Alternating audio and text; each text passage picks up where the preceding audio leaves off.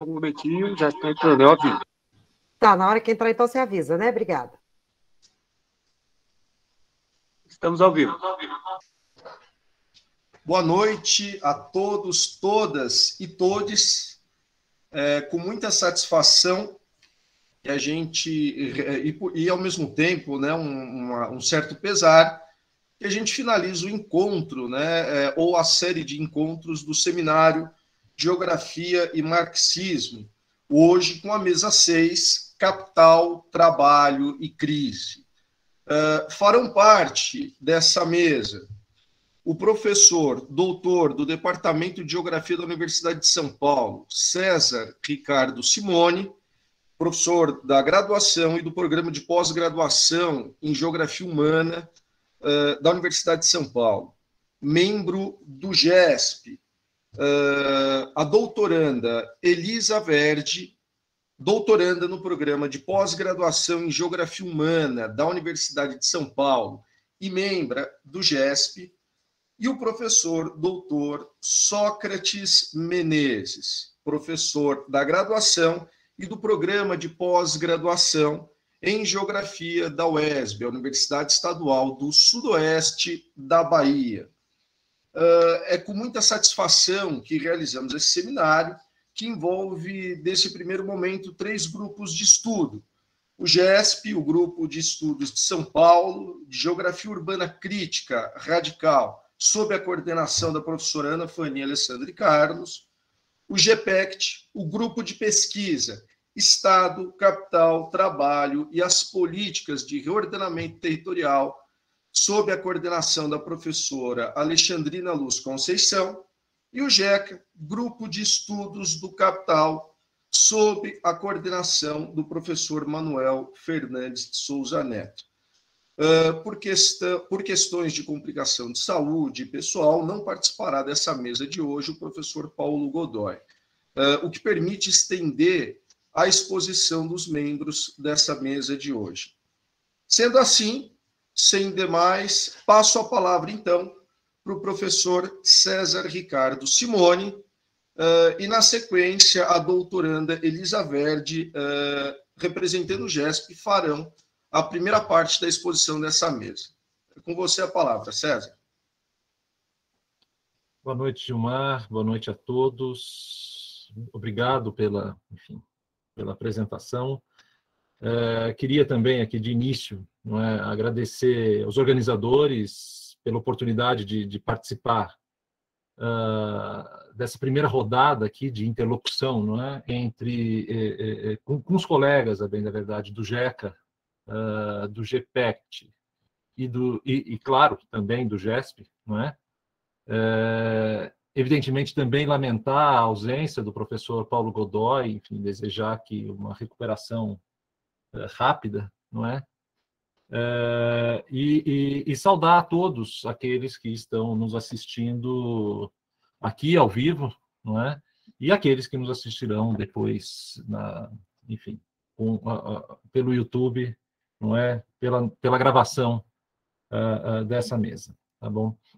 Bom, o que o que a gente vai apresentar aqui é, é, é resultado de uma é, é essa enfim é uma, uma introdução importante é, é, é resultado de uma reflexão conjunta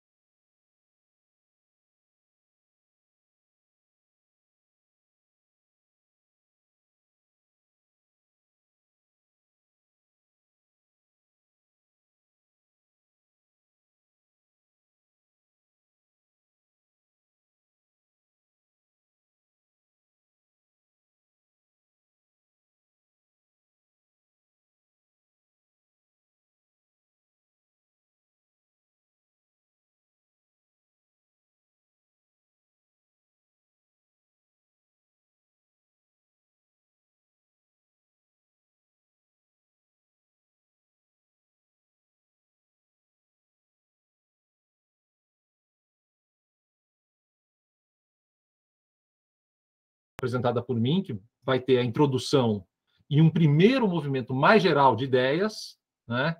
E que, e que, a bem da verdade, nesse movimento mais geral de ideias, uh, a gente procura aqui alguns delineamentos, né? Uh, para situar o trabalho uh, do Henri Lefebvre, né? no âmbito do debate do debate marxista, né, na geografia, justamente a partir da temática da mesa, e uma segunda e uma segunda parte apresentada então pela Elisa, não é? Que que, que deverá então compreender aqui, não é? Uh, a acomodação dessas ideias, não é? Das ideias, sobretudo das ideias tratadas na primeira parte, ao contexto de consolidação de uma vertente dos estudos urbanos na geografia brasileira, não é? E, por fim, também uma brevíssima conclusão. Tá? Bom, uh, como ponto de partida, não é, é, é preciso eu acho, ter em mente aqui uh, que, no âmbito do, do, debate marxista a respeito do processo de produção do espaço, não é, é duas posições uh, aparentemente muito parecidas e, e não necessariamente excludentes, não é? Uh, Pode-se dizer que concorrem aqui entre as mais ventiladas uh, no debate crítico, não é? Volto a enfatizar que o fato de que trata-se de uma consideração a respeito do processo de produção do espaço, tá? Uh, desse ponto de vista, então, diria que nós temos hoje duas posições mais importantes, não é? De um lado, não é?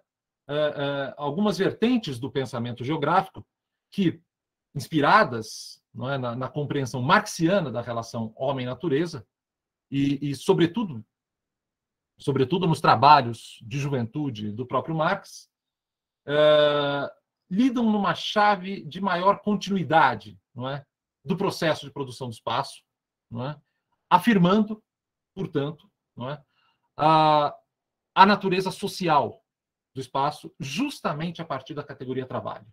Não é? Por outro lado, não é? Uh, nós vamos ter também aquelas vertentes que encontram a pertinência da reflexão geográfica a partir da importância que a compreensão das dinâmicas espaciais assume, especialmente em nosso tempo. Tá? Um tempo, uh, vale dizer, marcado pela crise dos processos correntes de acumulação.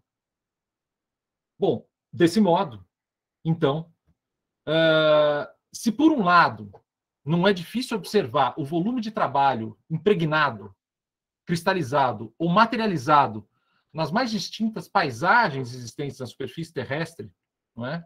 o que esclarece, portanto, o espaço e a dimensão espacial como um produto da atividade humana, por outro lado, também tem se tornado uh, parte de um consenso uh, o fato de que, diante uh, de, de, momentos de exacerbação dos efeitos críticos do processo de acumulação, é a própria produção do espaço, como forma de canalização e orientação dessa pulsão ao trabalho, que absorve, portanto, aqui boa parte dos investimentos de capital.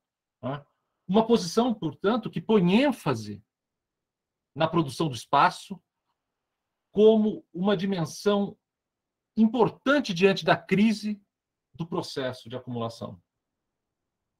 Que funciona aqui como um tipo uh, de marcador, não é? Uma espécie aqui uh, de poderia dizer um sócio indicador, não é?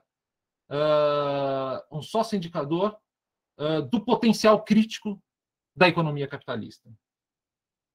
Uh, considerando, portanto, essas duas perspectivas, uh, cabe reconhecer o fato de que é essa última, não é? Que reúne, portanto, de forma mais evidente os três termos propostos no título da misa, a problemática espacial, não é? Já que não é? o próprio conceito de crise não fica evidente da primeira formulação, não é? para a qual portanto, a própria noção de crise é dispensável. Né? E digo, digo isso mesmo, mesmo que eh, se considere aqui, ou se compreenda propriamente a crise, eh, não só como um evento isolado, não é? Mas como um dado permanente, interno ao próprio processo de acumulação do capital. É? bom, é, desse ponto de vista, é? a associação, portanto, aqui das considerações do espaço é, no processo de reprodução social e econômica com o quadro crítico tem se revelado uh, mais rico em termos analíticos. Isso porque, bom, uh, ele se reporta mais facilmente aos elementos contextuais, não é? ao mundo empírico, não é? a, a, a essa a experiência contemporânea propriamente, mas também se torna mais conveniente para uh, gerar aqui respostas a problemas do campo epistemológico, é? Uh, problemas como uh, como aqueles que partem, não é, de uma pergunta sobre por que o espaço teria sido por tanto tempo negligenciado pelo pensamento crítico. É? Bom, e, e, e, perguntas que, ao, se, uh, uh, uh, perguntas como essas que, ao aparecerem também, trazem embutida o reconhecimento de que hoje, justamente, o espaço se tornou uma grande descoberta, né? uma, uma dimensão é, é, descortinada pelo pensamento crítico para a compreensão dos processos uh, ligados à reprodução social. Né? Essa essa noção, essa essa de certa maneira é, essa novidade, não é, que é, é ela foi de certa maneira capturada pela noção de virada espacial, que se tornou uh, uh, relativamente bastante conhecida, não é? e, e, e utilizada por diversas perspectivas dentro e fora da geografia. Né? E seguindo, portanto, uh, essa, essa trilha aqui, não é? Uh, a própria mudança de orientação no pensamento social crítico teria, então, uma forte ancoragem na realidade, não é? Desse ponto de vista, a virada espacial não poderia ser um movimento exclusivo da intuição, não é? Uh, e as acomodações no, do mundo real seriam aqui o, o, o elemento que dá, que, dão, uh, uh, que dá sustentação à reorganização uh, do debate acadêmico, não é? Uma reorganização que incorporou amplamente o espaço como dimensão crucial para a compreensão da vida, não é? Uh, uma expressão pode-se dizer aqui desse caminho analítico, não é? é? Pode ser encontrada no fato de que desde os anos 80, por exemplo, muitos trabalhos no campo da geografia urbana passaram a identificar uh, o direcionamento de investimentos para o segmento imobiliário. Né? Essa tendência uh, se intensificou nos anos 90 e teria, inclusive, atingido seu auge já no século 21. Não é? a explicação para esse, enfim, para esse reconhecimento, para esse objeto né, de acesso aqui ao, ao reconhecimento dessa, dessa, dessa mudança de orientação no próprio processo uh, uh, uh, de reprodução econômica e social, né? É, um dos indicadores empíricos, melhor dizendo, para o reconhecimento desse fato foi notado justamente na, na, na, impressionante ascensão do segmento de incorporações no conjunto dos ramos da atividade econômica. Né? E evidentemente, na, na, sequência, no contínuo aumento uh, de dispositivos legais e financeiros, não é, que amparam esse volume de recursos que são canalizados para a produção do espaço urbano, não é? Uh, desse ponto de vista, uh, a gente estaria diante aqui, então, é, da abertura de mais uma frente para a consideração do espaço no âmbito da teoria social crítica. É? Ora, uh, dessa perspectiva, o espaço não poderia ser mais observado não é, como sinônimo de, de localização. É? E a esse respeito, a, a, a fala da professora Fanny, uh, na primeira mesa, na, na, mesa de abertura desse seminário, não é? Uh, recupera a necessidade da passagem de uma geografia da localização para uma geografia da produção do espaço, não é? Aliás, um, um movimento no qual ela tem insistido durante boa parte da, da, da sua trajetória acadêmica. É, isso importa porque o espaço, dessa perspectiva, não flerta mais com o marxismo somente como ambiente de circulação, como entrave ou como barreira. É? Uh, no movimento da sua aniquilação pelo tempo, portanto. Não é? Eu acho que a gente pode cogitar diante disso não é? uma inversão aqui de sentidos.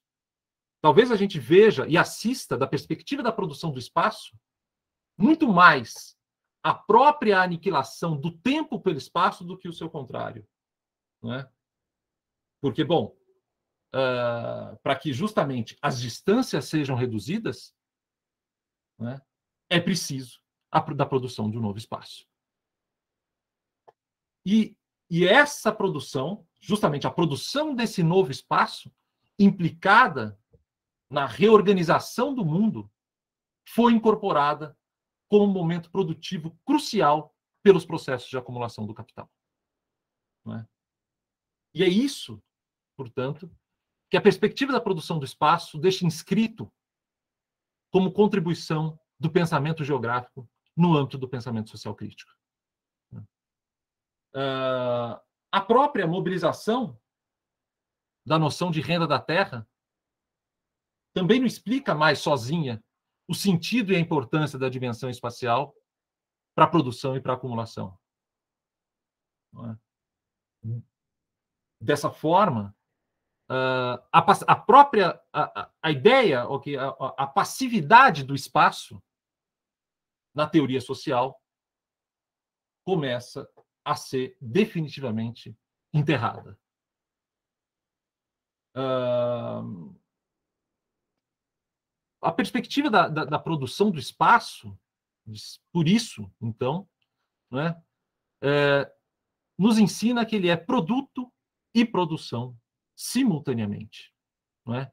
E é nessa direção, justamente, que aponta uh, a observação uh, de Henri Lefebvre, quando ele reconhece a produção do espaço como uma dimensão ligada ao que ele chama de, circuito de um circuito secundário da economia. É amparado também nessa concepção que David Harvey vai entender que a produção do espaço emerge né, como destino das massas de capital que passam a se tornar excedentes nos circuitos primários da acumulação e da produção. Essas duas contribuições, portanto, partem aqui dos problemas, é? das barreiras, das dificuldades de investimento do capital em condições correntes. Elas partem, portanto, da crise para encontrar o espaço como dimensão produtiva e ligada à acumulação. É? Ora, uh, atualmente, no entanto, não é? Uh, ao mesmo tempo que se nota, e essa talvez constitua a especificidade e, e talvez um dos, um dos mais recentes desafios né, do pensamento crítico uh, do pensamento crítico amparado na perspectiva da produção do espaço é que, ao mesmo tempo em que se nota uma orientação dos investimentos em direção à transformação e reprodução do espaço como alternativa para a absorção de capital e trabalho, não é? Uh, então, portanto, como uma dimensão, uh, uh, uma dimensão capaz de promover a reunificação desses dois momentos do próprio processo de acumulação do capital, nota-se também uma fuga em direção às finanças. Não é? E, e, claro, quando se, quando se fala que uma fuga em direção às finanças, uh, evidentemente que isso não nos autoriza a descartar a produção e captura do excedente social como dimensão importante do processo de acumulação, mesmo frente a um processo entendido como um processo de financiarização da economia. Não é? Ainda que, por vezes, não é? a acumulação regida aqui pelos uh, uh, uh, regida pelas finanças propriamente pareça se autonomizar diante do próprio processo de produção precedente, não é? e é nesse contexto, portanto, retornando aqui a, a, a, ao que eu apresentei como um desafio, não é, ao pensamento crítico comprometido com os processos, com a compreensão dos processos de produção do espaço, não é? é nesse contexto, então, que uma poderosa convergência uh, parece estar dando sustentação é? aos, aos inúmeros e muito pertinentes é? trabalhos que começam a se avolumar na geografia e, sobretudo, na geografia urbana crítica. Não é? é trabalhos e pesquisas que apostam nas aproximações entre o mundo das finanças e o mercado imobiliário. É? Em 2003, eh, Roberto Kurz publica um, um, um, artigo a respeito dessa convergência nos Estados Unidos, não é? e uma convergência que, como sabemos, não é? vai resultar justamente na crise de 2008. Não é? Uh, dois anos antes disso, em 2001, não é? Uh, o trabalho da professora Fanny também havia aberto esse horizonte uh, na geografia brasileira, é? dando origem aqui a uma série de trabalhos é? em nosso campo disciplinar a respeito dessa temática. É? Uh, exemplos desses trabalhos são, enfim, uh, perdoe-me a falta de uma sistematização de uma lista aqui, mas para ficar em nomes que passaram por esses seminários, por esse seminário, não é? é, é, é Trabalhos como os, os trabalhos de, de, Danilo Volosco, uh, de Rafael Faleiro uh, de Pádua, não é? Uh, da professora Isabel Vares, não é? dentre outros, não é? então, e, e, e a partir desse momento, dessa conjunção, né, e essa associação entre o mercado de capitais e o mercado imobiliário passa a constituir aqui uma novidade no processo de produção do espaço urbano, não é? E perdoem-me o, o, o, eufemismo, mas uh, pode-se dizer que a contribuição do pensamento lefevriano para o arremate dessa orientação teórica que se estrutura na geografia uspirana não é desprezível, não é? Bom, e, e, dito isso, não é? Eu acho que a partir daqui, então, a gente uh, uh, deve dividir uh, essa reflexão aqui em dois momentos. Tá? Então, primeiramente, primeiramente, numa muito breve tentativa de caracterização da formulação lefebvriana, que dá acesso e se compatibiliza com essa perspectiva de análise. E, e eu enfatizo que é, é, é, uma tentativa de ser realmente muito breve na, na, nessa caracterização, tendo em vista a extensão do trabalho de Henri Lefebvre, não é? E um segundo momento, que é uma tentativa de caracterização das condições de recepção da tese lefebvriana por parte dessa geografia nascente em solo brasileiro. Uh, ora, uh, por, uh, como eu acho que eu, eu parto para essa tentativa muito reduzida aqui de, de, de, caracterização do pensamento lefebvriano, sinalizando para o fato de que, em função justamente das limitações que nós temos aqui, uh, dado uh, uh, o tempo de exposição e o que é razoável para uma apresentação, sinalizando para o fato de que um esforço nesse sentido, não é, também com muitas limitações, foi ensaiado no dossiê Henri Lefebvre e a Problemática Urbana, que foi publicado na revista GeoUSP, tá? um dossiê que foi organizado justamente pelo GESP e que conta com textos e, e, e o esforço aqui de pesquisadores do GESP. Não é? Acho que lá um, um, um, trabalho, uma tentativa de captura desses elementos que procuram traçar esse universo de vínculos entre o pensamento lefebvriano e essa geografia urbana crítica, acho que estão tecidos, pelo menos, com mais, uh, uh, uh, enfim, com, com, com, uma quantidade maior de elementos, tá? uma riqueza maior de uh, uh, uh, movimentos, não é? Mas, como basicamente essa perspectiva nasce né, no âmbito dos estudos da geografia urbana, a gente optou aqui por um movimento presente no livro Espaço e Política, não é? e que é e, e, um movimento que é capturado pela própria noção de mobilização do espaço, não é? Noção de mobilização do espaço que foi trabalhada justamente nesse dossiê ao qual me referi pela professora Isabel Alvarez, não é? A quem eu vou acompanhar um pouco aqui nas uh, uh, uh, na sequência aqui nessa breve sequência de ideias que compõem esse esforço de breve caracterização do pensamento lefebvriano. Tá?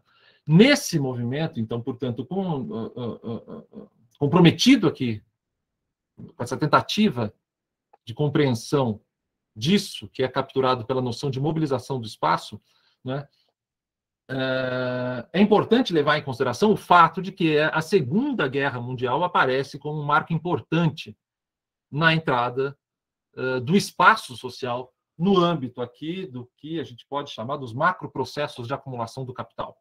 Não é?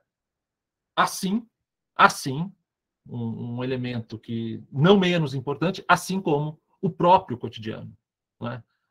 Ora, além disso, né, além da, a, a, da intensidade é, e, e, abrangência uh, dos impactos da planificação territorial na França, uh, o próprio Lefebvre observa a emergência do espaço como categoria central para a compreensão da reprodução das relações sociais de produção. É? E, nesse momento, nesse momento, portanto, aí, na passagem para a segunda metade do século XX, não é? e diante aqui do esboroamento não é, das relações tradicionais rurais, ele chega ao urbano. Não é? Uh, desse modo, desse modo, então, monta-se aqui para nós uma tríade importante, é? para a compreensão dessa nova etapa, não é? É, é, é? é, que mobiliza, que exige a mobilização de dimensões, dimensões conceituais uh, importantes e que serão dimensões conceituais que caracterizam propriamente o pensamento lefebvriano.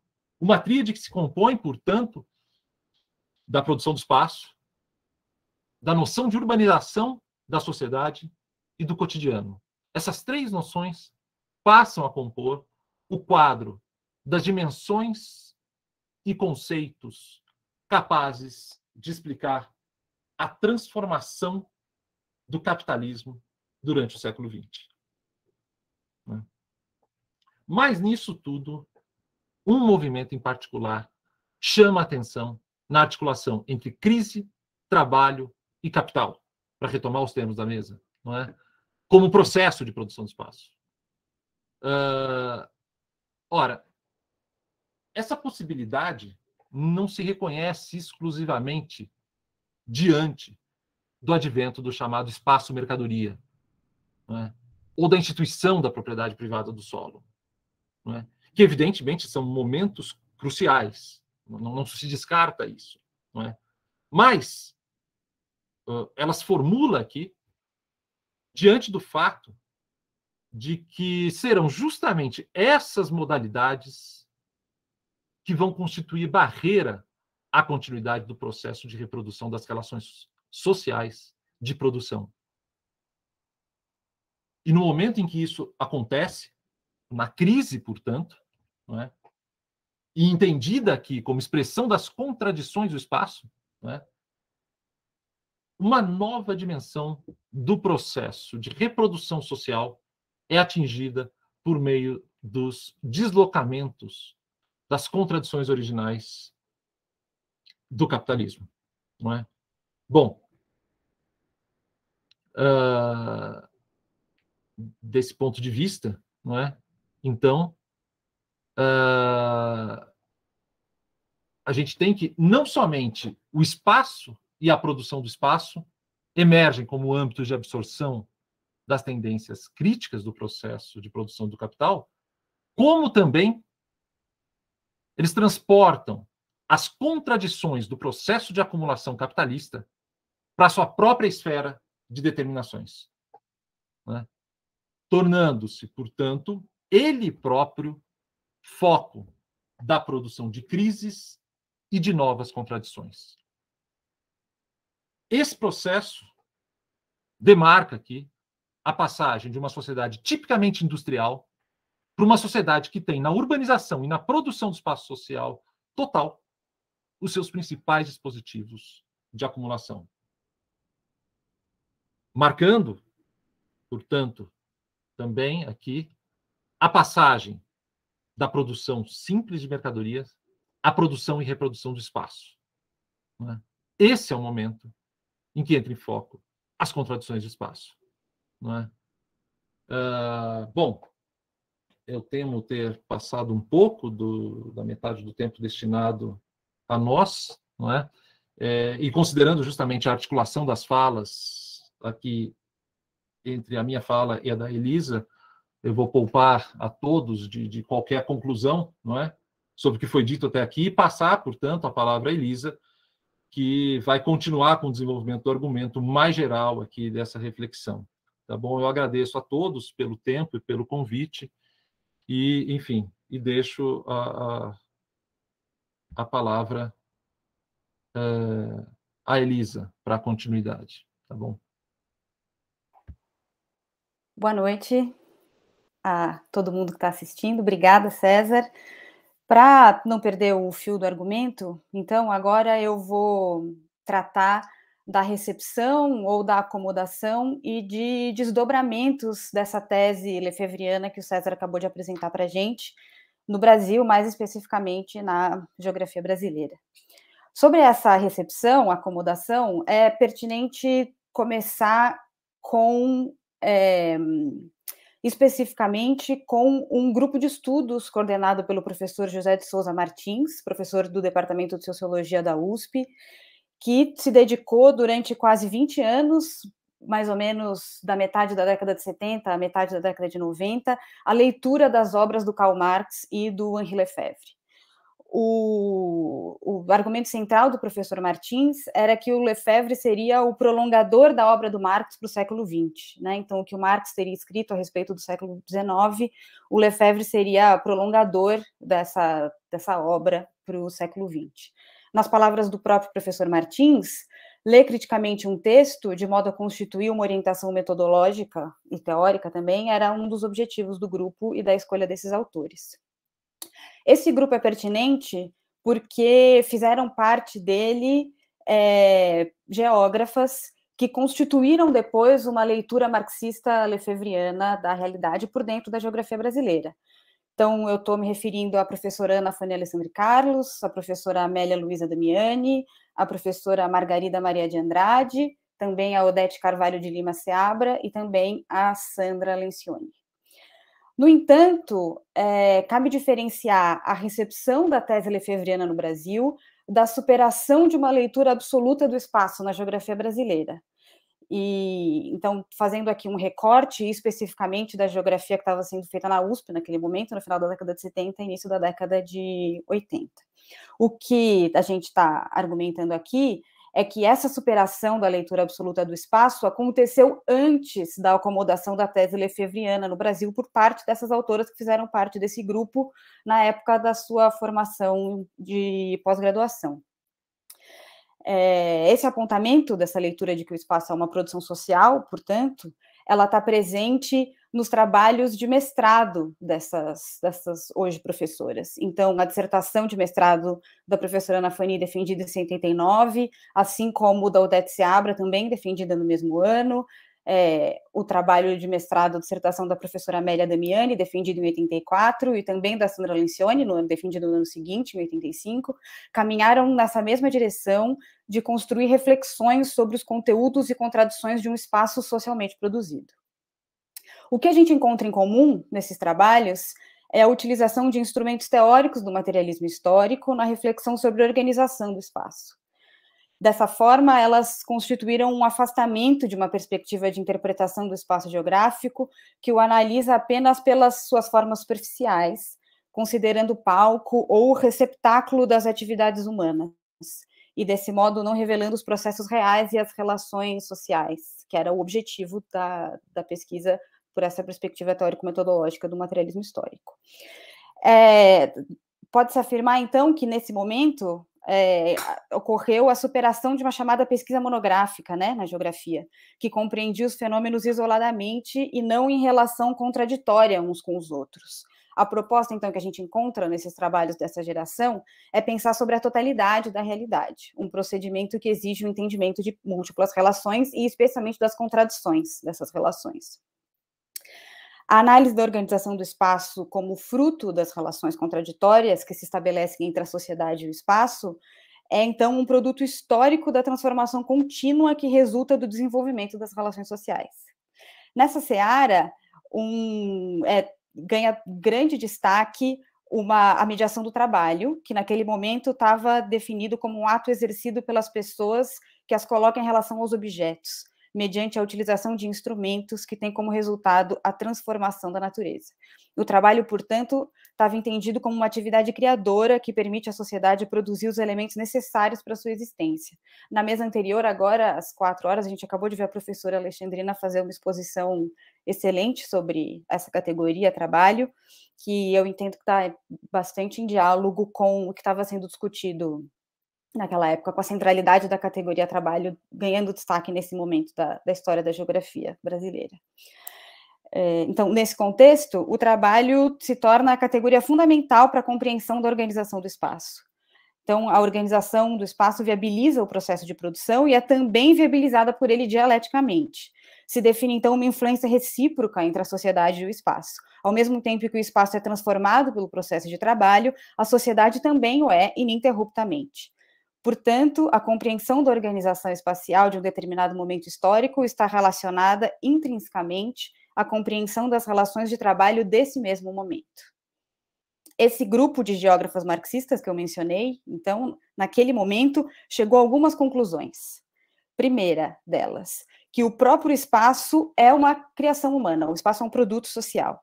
Então, ao perder seu caráter absoluto de palco ou de receptáculo das ações, o espaço deixa de ser passivo e inerte, como César expôs agora há pouco, e torna-se um produto social que só existe em relação à sociedade que o produz. Uma segunda conclusão é que as determinações da organização do espaço, em um momento histórico específico, são as mesmas do modo de produção predominante nesse mesmo momento. Então, essa definição exige que a análise geográfica supere o nível da aparência formal e se posicione além da leitura da paisagem, com o objetivo de compreender a essência dos fenômenos e da organização espacial. é, é relevante destacar que a forma não passa a ser desimportante. Ela é um dos momentos da análise, então não se joga fora a morfologia ou a paisagem, de modo algum, mas ela passa a ser um momento da análise. Terceira conclusão, então, é que a divisão do trabalho e a diferenciação da sociedade em classes são elementos determinantes tanto do modo de produção quanto da organização do espaço. E, finalmente, uma quarta conclusão é que as especificidades do trabalho sob o modo de produção capitalista determinam o conteúdo das relações sociais e, consequentemente, da organização do espaço, definindo, portanto, um espaço capitalista. É pertinente fazer duas ressalvas aqui sobre esse, esse contexto. Primeira é que outros trabalhos da mesma época também dialogavam com essa perspectiva por dentro do materialismo histórico. Essa leitura não era exclusiva do grupo do professor José de Souza Martins, mas ela era, sim, um traço característico das pesquisas que giraram em torno desse grupo, que foram realizadas no, a partir das leituras feitas nesse grupo, né? Mas, claro que é muito pertinente lembrar aqui de outros trabalhos da época que também construíram uma perspectiva materialista histórica na geografia da USP especificamente, que é o recorte que a gente está fazendo aqui. Primeiro, a tese do professor Ariovaldo Umbelino de Oliveira, de 1978, e pouco tempo depois, as dissertações do professor Vanderlei Messias da Costa, de 1982, do Antônio Carlos Robert Moraes, de 1983, e também de José William Vesentini, de 1984. Outra ressalva bastante importante a se fazer é que esse debate não se restringiu às dissertações e teses defendidas na Universidade de São Paulo. Ele estava acontecendo também numa ampla gama de artigos publicados na época, com especial destaque para os periódicos e encontros da Associação dos Geógrafos Brasileiros, AGB, instituição que, como já se sabe, foi fundamental para a consolidação da ruptura crítica na geografia brasileira na década de 70. Essas conclusões, então, elas se desdobraram do final da década de 70 em diante e incorporaram a tese lefevriana do espaço como um produto social, realizando, então, uma articulação entre o processo de acumulação capitalista e a urbanização. Essa articulação é pertinente destacar aqui que ela é um traço característico da leitura que o GESP, o grupo que eu e o César fazemos parte, estamos aqui dialogando com vocês, é, que, que o GESP faz. Tem algumas premissas dessa leitura, dessa articulação. Uma delas é que os conceitos de produção, trabalho, propriedade, apropriação, divisão social do trabalho e alienação, eles passam a ser chave para a redefinição das noções de paisagem, espaço, região e também cidade e urbano. Então, a gente, tá, a gente vê um, é, que essas, essas categorias centrais do materialismo histórico, elas passam, de certa maneira, a dialogar com os, com os conceitos próprios da nossa ciência parcelar, que é a geografia. Outra premissa dessa articulação é que o processo de acumulação, lido como uma condição para a reprodução do capital em escala cada vez mais ampliada, necessita da aglomeração em crescente desenvolvimento para atender às suas necessidades de expansão. Então, a reprodução em escala cada vez mais ampliada do capital pela acumulação estimula a concentração. Também a urbanização ela ocorre simultaneamente ao processo de acumulação capitalista e desse modo a relação entre a urbanização e a acumulação supera metodologicamente o lugar, seja ele entendido como a cidade, a região ou o bairro, como o principal fator de organização espacial, que é substituído pelo capital, que nessa leitura determina o processo de concentração espacial a partir das necessidades da acumulação. É, é importante destacar que o lugar não desaparece da leitura, né? Mas muda o foco de análise. O lugar deixa de ser o objeto da leitura nessa perspectiva. O lugar assume nessa interpretação a forma espacial da acumulação, que é efetivamente produzida por, como um espaço capitalista. Essas premissas, então, a gente pode dizer que elas dão unidade ao GESP, né? Elas é, são transversais à leitura do grupo. E eu entendo que elas apareceram na fala de outros colegas aqui ao longo desses últimos dias do seminário, tanto da Glória quanto do Rafael, do Danilo, da Camila, do Gustavo e da Fanny também, efetivamente. Essas premissas, então, elas têm basicamente duas consequências, sinteticamente duas consequências.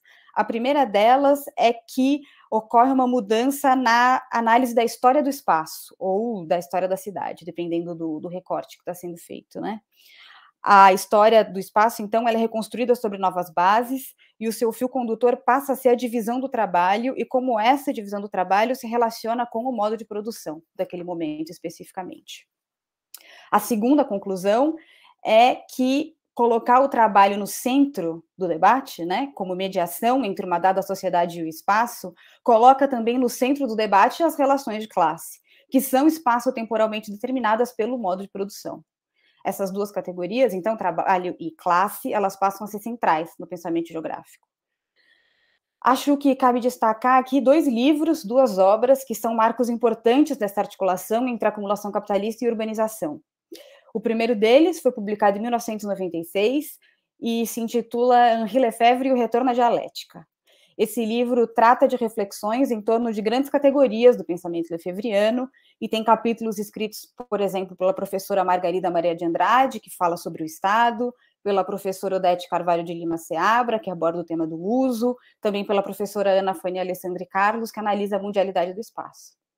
Uma outra obra que, que a gente gostaria de destacar aqui, publicada em 1999, é O Espaço no Fim do Século, Nova Raridade.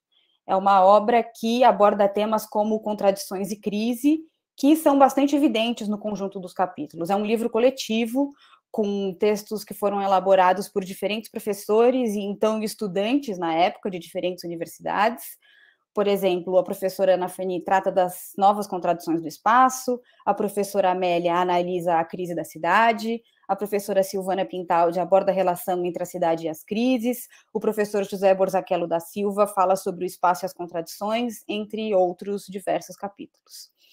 O que é pertinente destacar é que esses dois livros tratam especificamente das contradições do espaço. E nessas análises, as categorias de crise, trabalho e capital são mobilizadas para explicar as contradições do espaço em diálogo com a ciência geográfica. Aqui a, a ciência parcelar. É, como uma breve conclusão dessa reflexão que o César propomos para hoje, a gente pode dizer que Enquanto nos momentos iniciais houve um entendimento mais geral sobre as categorias necessárias para a renovação do pensamento geográfico, que tomou a cena no debate da geografia uspiana, a partir dos anos 90, uma reflexão sobre a crise como elemento de impulsão para as transformações do espaço e para a compreensão das dinâmicas espaciais se impôs. É, da minha parte era isso. Eu, para não perder a, a, reflexão, eu deixei os agradecimentos para depois. Então eu termino agradecendo o convite para participar do evento. Agradeço o diálogo que a gente travou aí nos últimos dias com os colegas do GESP, que a gente tem debatido há alguns anos. Também os colegas do GPECT, do GECA. Agradeço especialmente a pessoa da Rugata pela organização do evento. E ficamos aí para o debate. Obrigada. Muito obrigado, Elisa. Muito obrigado, César.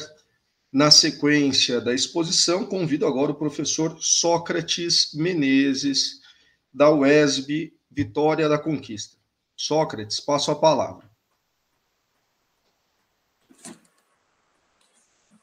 Bom, é,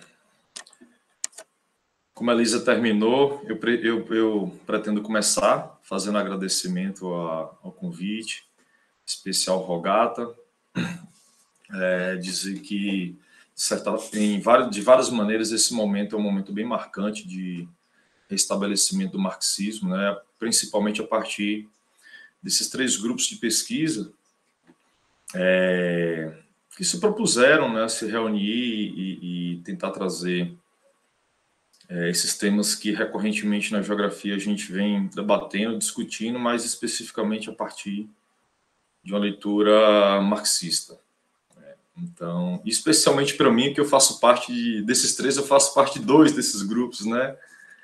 O GEC e o GEPET, é, eu componho como pesquisador desses grupos. Então, é para mim uma dupla, ou quase tripla, né? É uma honra poder fazer parte desse momento de fechamento e enfim, de conclusão dos trabalhos desse evento, que é bastante importante.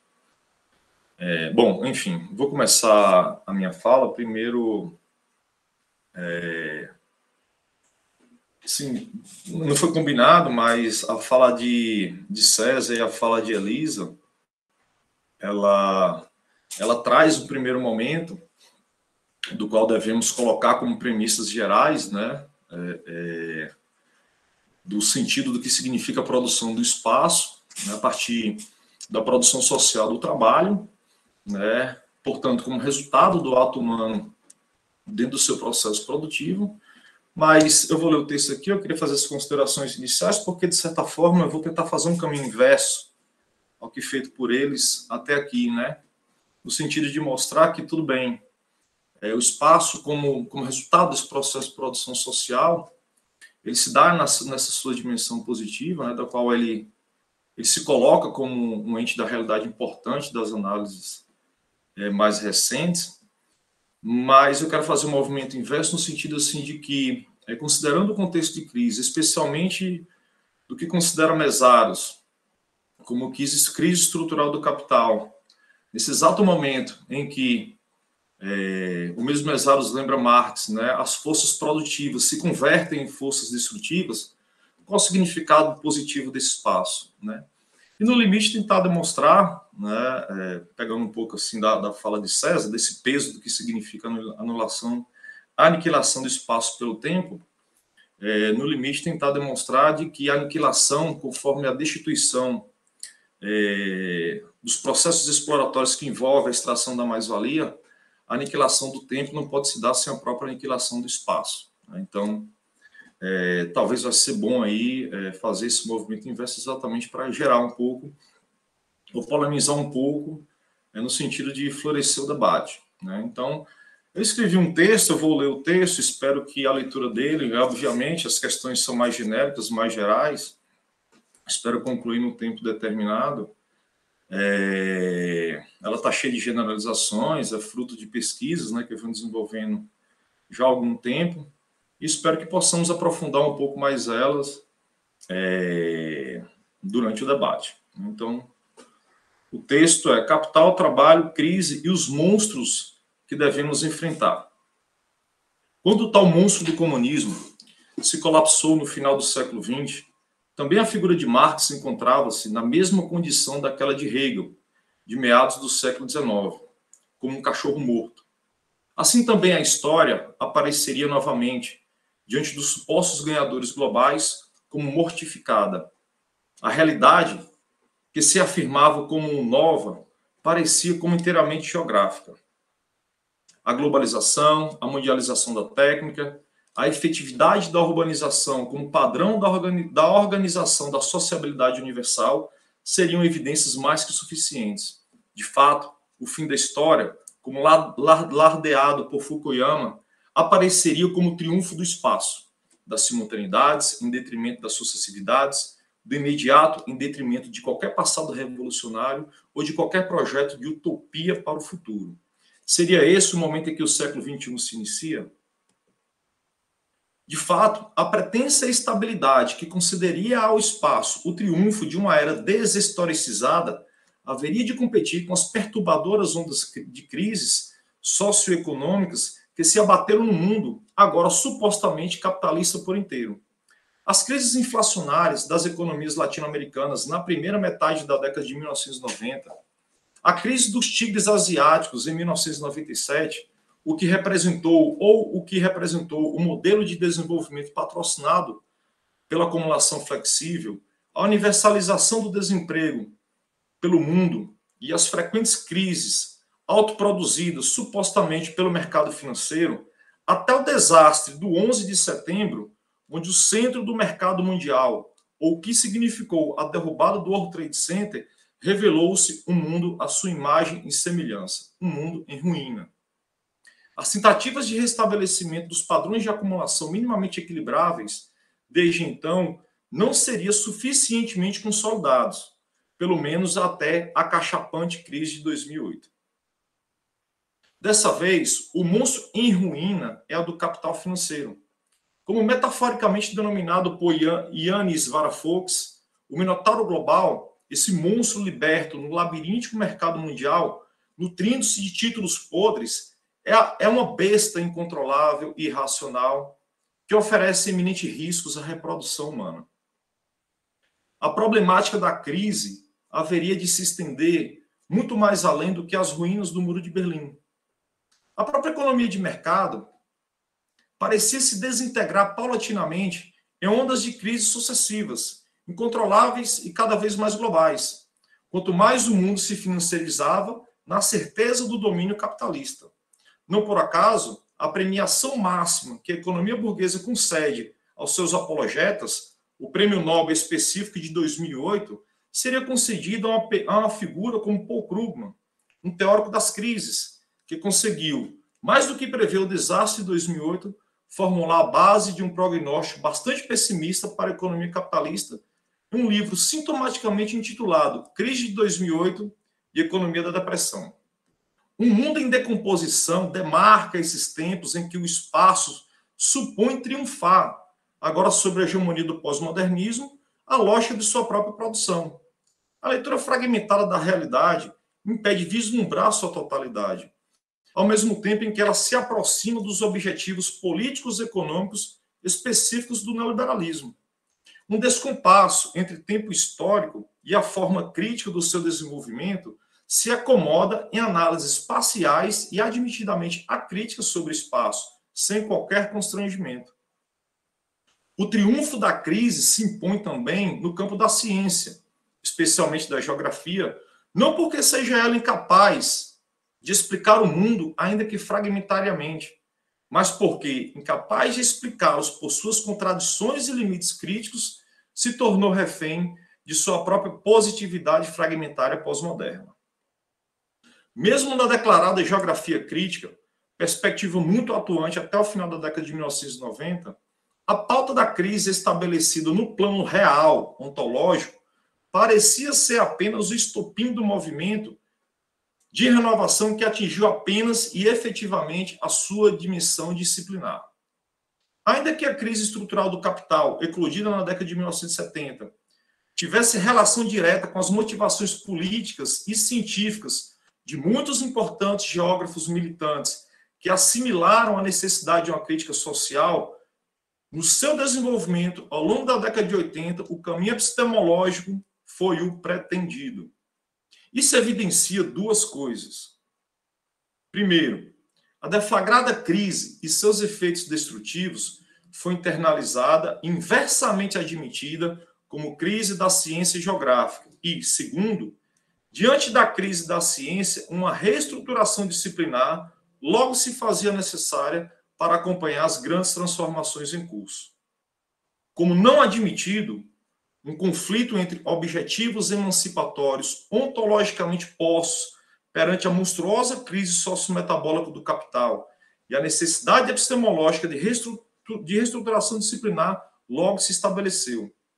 A avaliação de que uma, uma crítica geográfica militante e engajada rumo à transformação social pudesse fenecer ao não estar fundamentado um sistema teórico de conceitos e categorias propriamente geográficas, foi a que orientou boa parte das proposições teóricas da chamada geografia crítica.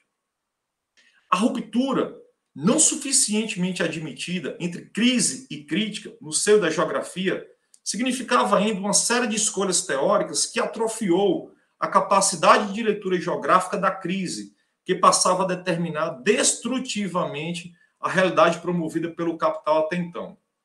Conforme observa Mesários, a crise estrutural sociometabólica evidenciada a partir da década de 1970 tem seu fundamento na ativação dos limites absolutos do sistema acumulativo, dentre várias condicionantes travadoras da, da dinâmica valorativa do capital, está exatamente a incapacidade com que eu trabalho, pelos mecanismos extremamente avançados de extração da mais-valia, pudesse se converter em taxas de lucro suficientemente assimiláveis ao conjunto universal de capitais postos em movimento.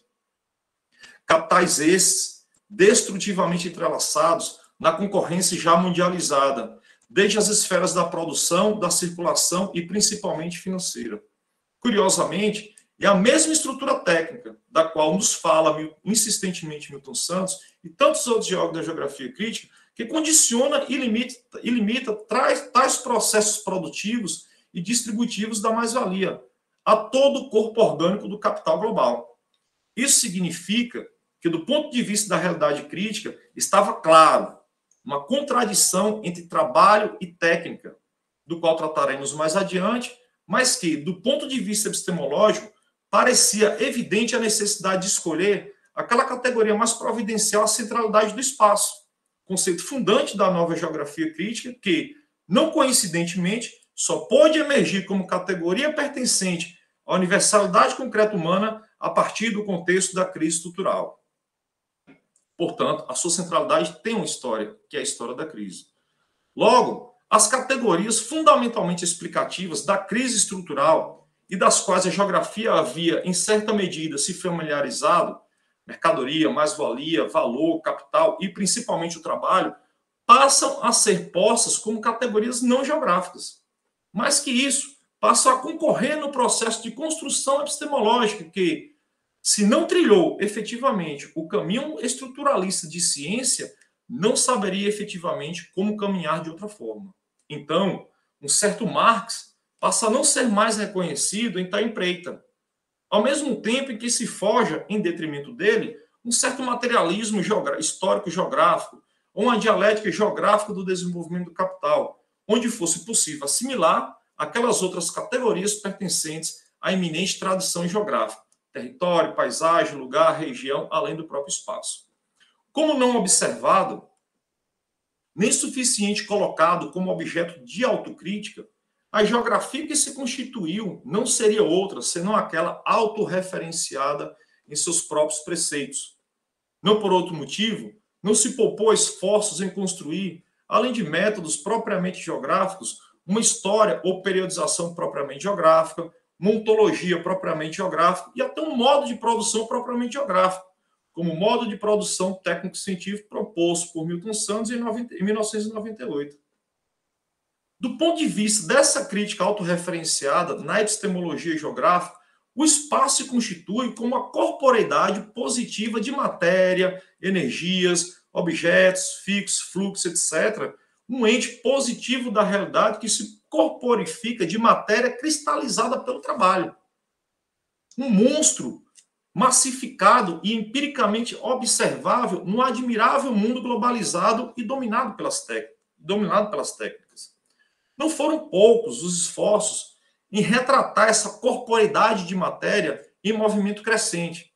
Certa vez, como o corpo do tempo, os termos de Rui Moreira, o acúmulo desigual de tempos históricos materializados de objetos e ações sistematicamente dinâmicos, como nos termos de Milton Santos, ou como depósito de excedente deslocado da acumulação em crise, como nos termos de David Harvey.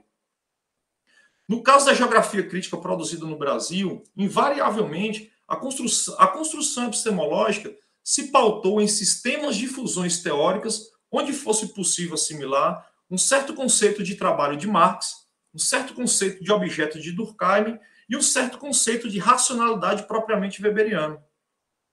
Com um certo conceito de gênero de vida laplaciano, um certo conceito de técnica de Marx e uma certa dialética orgânica e inorgânica tricartiana nesses termos, o espaço assim constituído, apesar de toda a evidenciação empírica em ruína, dado o quadro da crise estrutural, é explicado como Frankenstein, um outro monstro fruto de matéria morta, de partes dissociadas, mas fundidas em um corpo único, vivificado pela epistemologia. Mas, assim como na figura originária, criada por Mary Shelley em 1818, o Frankenstein geográfico remete à criação humana, Diferente dos monstros pré-modernos, oriundos da natureza e sua condição selvagem e bárbara, ou como fruto dos deuses, a figura do Frankenstein é peculiar, porque é produto da técnica do seu tempo.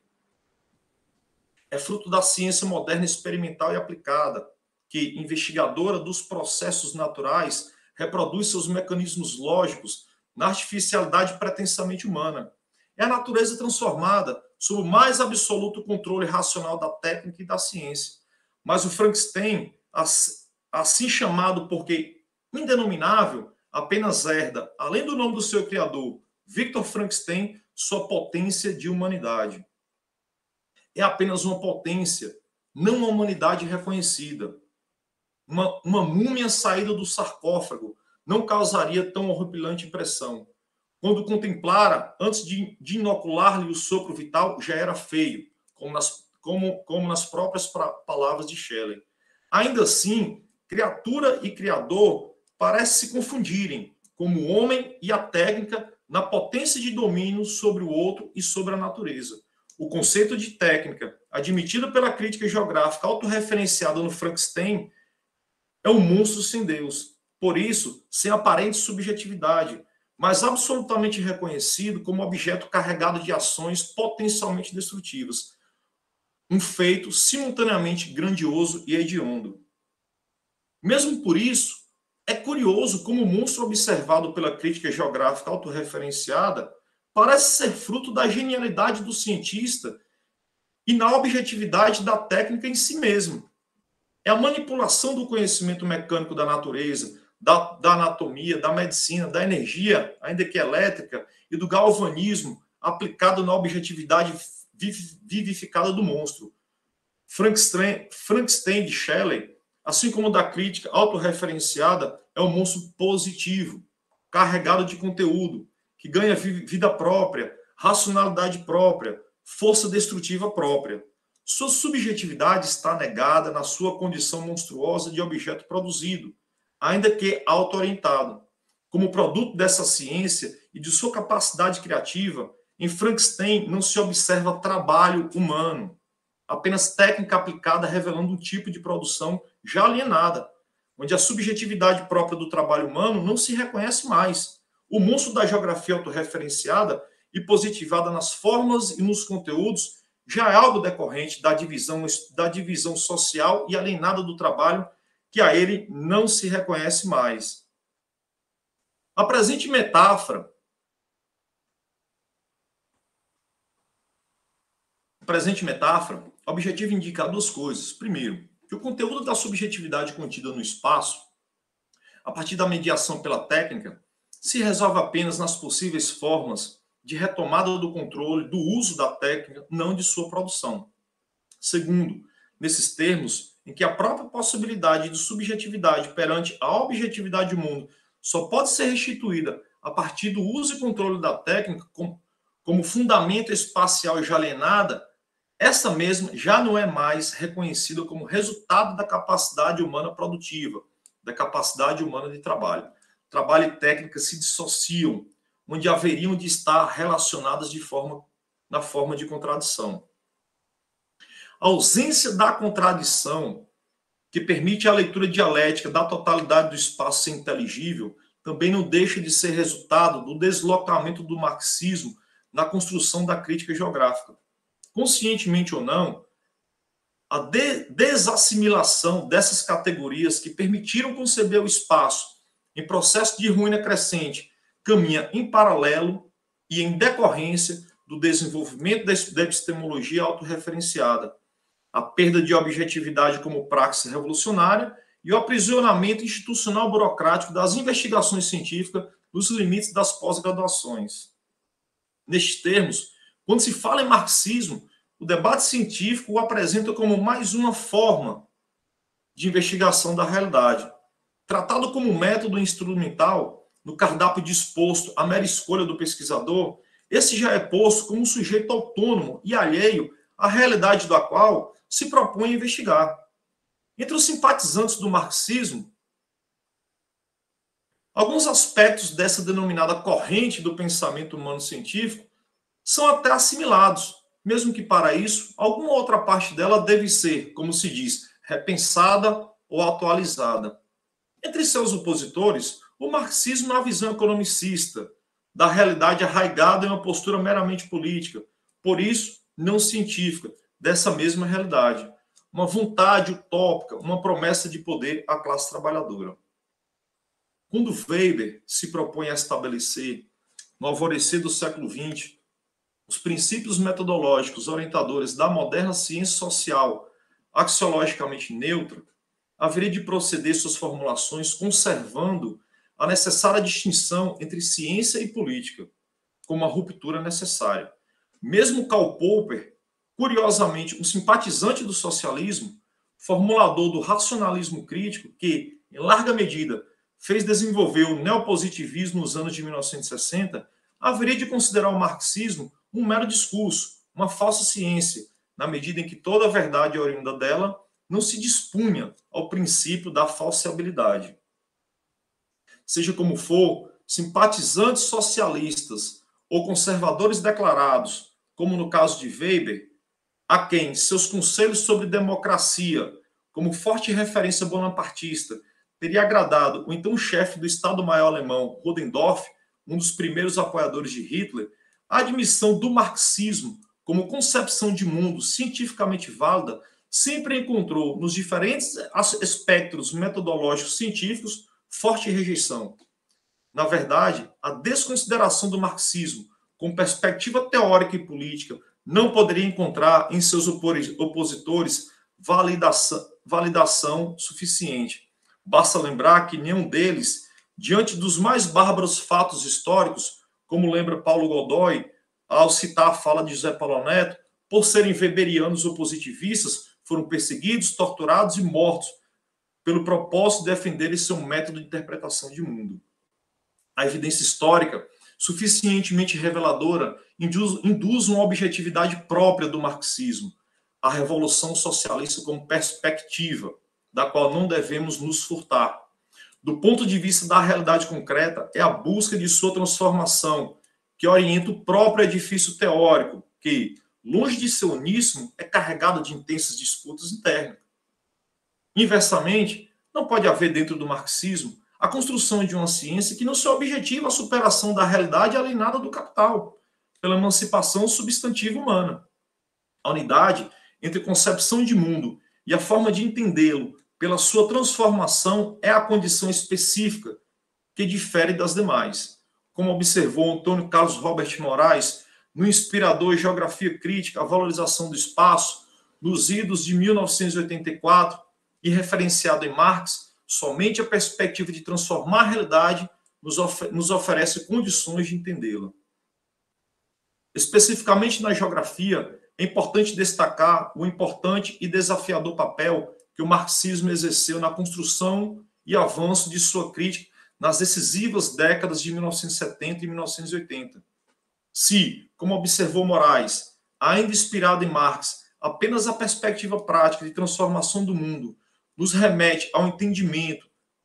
A objetividade dessa geografia deve estar inscrita em um método próprio de interpretação, a dialética especificamente marxista. A objetividade metodológica buscada pela geografia que se pretende crítica ou radicalmente crítica pelos seus princípios genéricos deve, assim, se orientar para que a transformação da realidade se constitua em um projeto de transformação da realidade possível. Nesse sentido, é importante que ela se oriente em três outros objetivos. Primeiro, na investigação e reprodução do pensa no pensamento dessa realidade em seu movimento específico, por meio da exposição de uma teoria suficientemente revolucionária que aponte as contradições com que o sistema de alienação da acumulação pela acumulação inverte a produção como finalidade em si da necessidade humana, em necessidade humana de produzir como finalidade em si mesmo. Segundo, na apresentação científica dessas contradições, como, com o objetivo de, criticamente, apontar os limites do modelo de desenvolvimento empreendido pelo capital a partir da dissecação do próprio objeto analisado.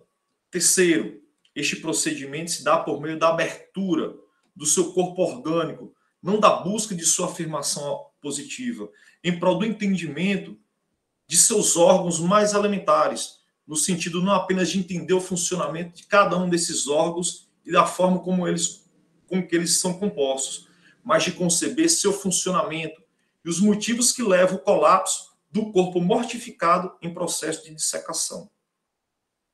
A crise nos oferece exatamente essa possibilidade.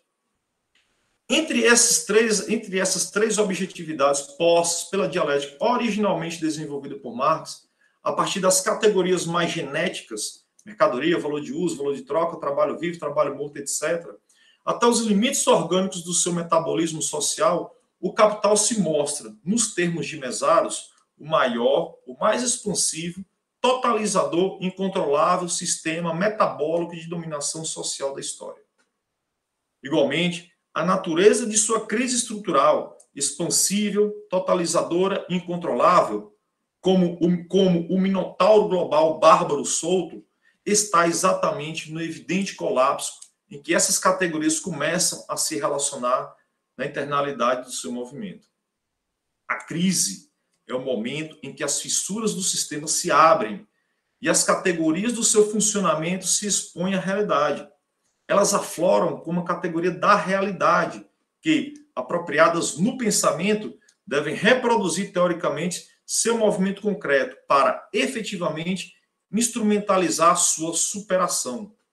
Isso indica que a determinação ontológica do ser social exposta pela crise da teoria para a epistemologia, não o contrário, deve ser colocado como objeto dessa dissecação. Para tanto, é preciso avançar no conceito de espaço, não mais como dimensão positivada, material e concreta, por onde fluxo de matéria, movimentos sociais, ação e intencionalidade se dão na composição de sua própria produção. Mesmo como instância da realidade, o espaço e também a técnica são inseridos no processo de valorização e, diante da crise, a desvalorização do capital, que só pode ocorrer a partir da exploração do trabalho. Marx estaria muito correto ao entender que as crises capitalistas seriam apenas epifenômenos da forma crítica com que o capital extrai sua essência vital. A extração da mais-valia, especificamente a relativa, e o desenvolvimento dela pautado na diminuição relativa do capital variável em detrimento do constante, são determinações irrevogáveis e absolutamente incorrigíveis do sistema acumulativo defeituoso do capital. A absurda massa de trabalho morto que se expressa ao mundo como uma propriedade material e funcional do espaço deve encontrar no trabalho vivo, cada vez menos cristalizado nele, sua fonte de valorização. No entanto, o que se observa é a incapacidade de reencontro de excedentes de valores de uso, capital sem possibilidade de valorização, por isso passíveis à destruição, e excedente de trabalho, que é a massa da força de trabalho divorciado do processo de extração da mais-valia, por isso não rentável, por isso passiva descartabilidade populacional, como amplamente se verificou ou se verifica nos mais de 600 mil mortos só no Brasil. A acumulação capitalista tende a produzir uma superprodução de capital e trabalho dissociados e, por isso, improdutivos. A solução dessa contradição se dá por meio da desvalorização do próprio capital e do trabalho, a níveis críticos, mas não tão críticos a ponto de interromper a acumulação em geral. É uma solução temporal e apenas temporal, e aposta é o futuro.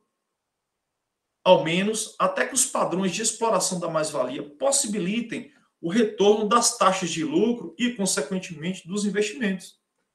Mas, mas também parte da solução dessas contradições se deslocam para o espaço, seja por meio de investimentos em infraestrutura, desenvolvimento de capital constante geral, ou da exportação de capitais para ambientes mais propícios à acumulação, outras regiões, outros países.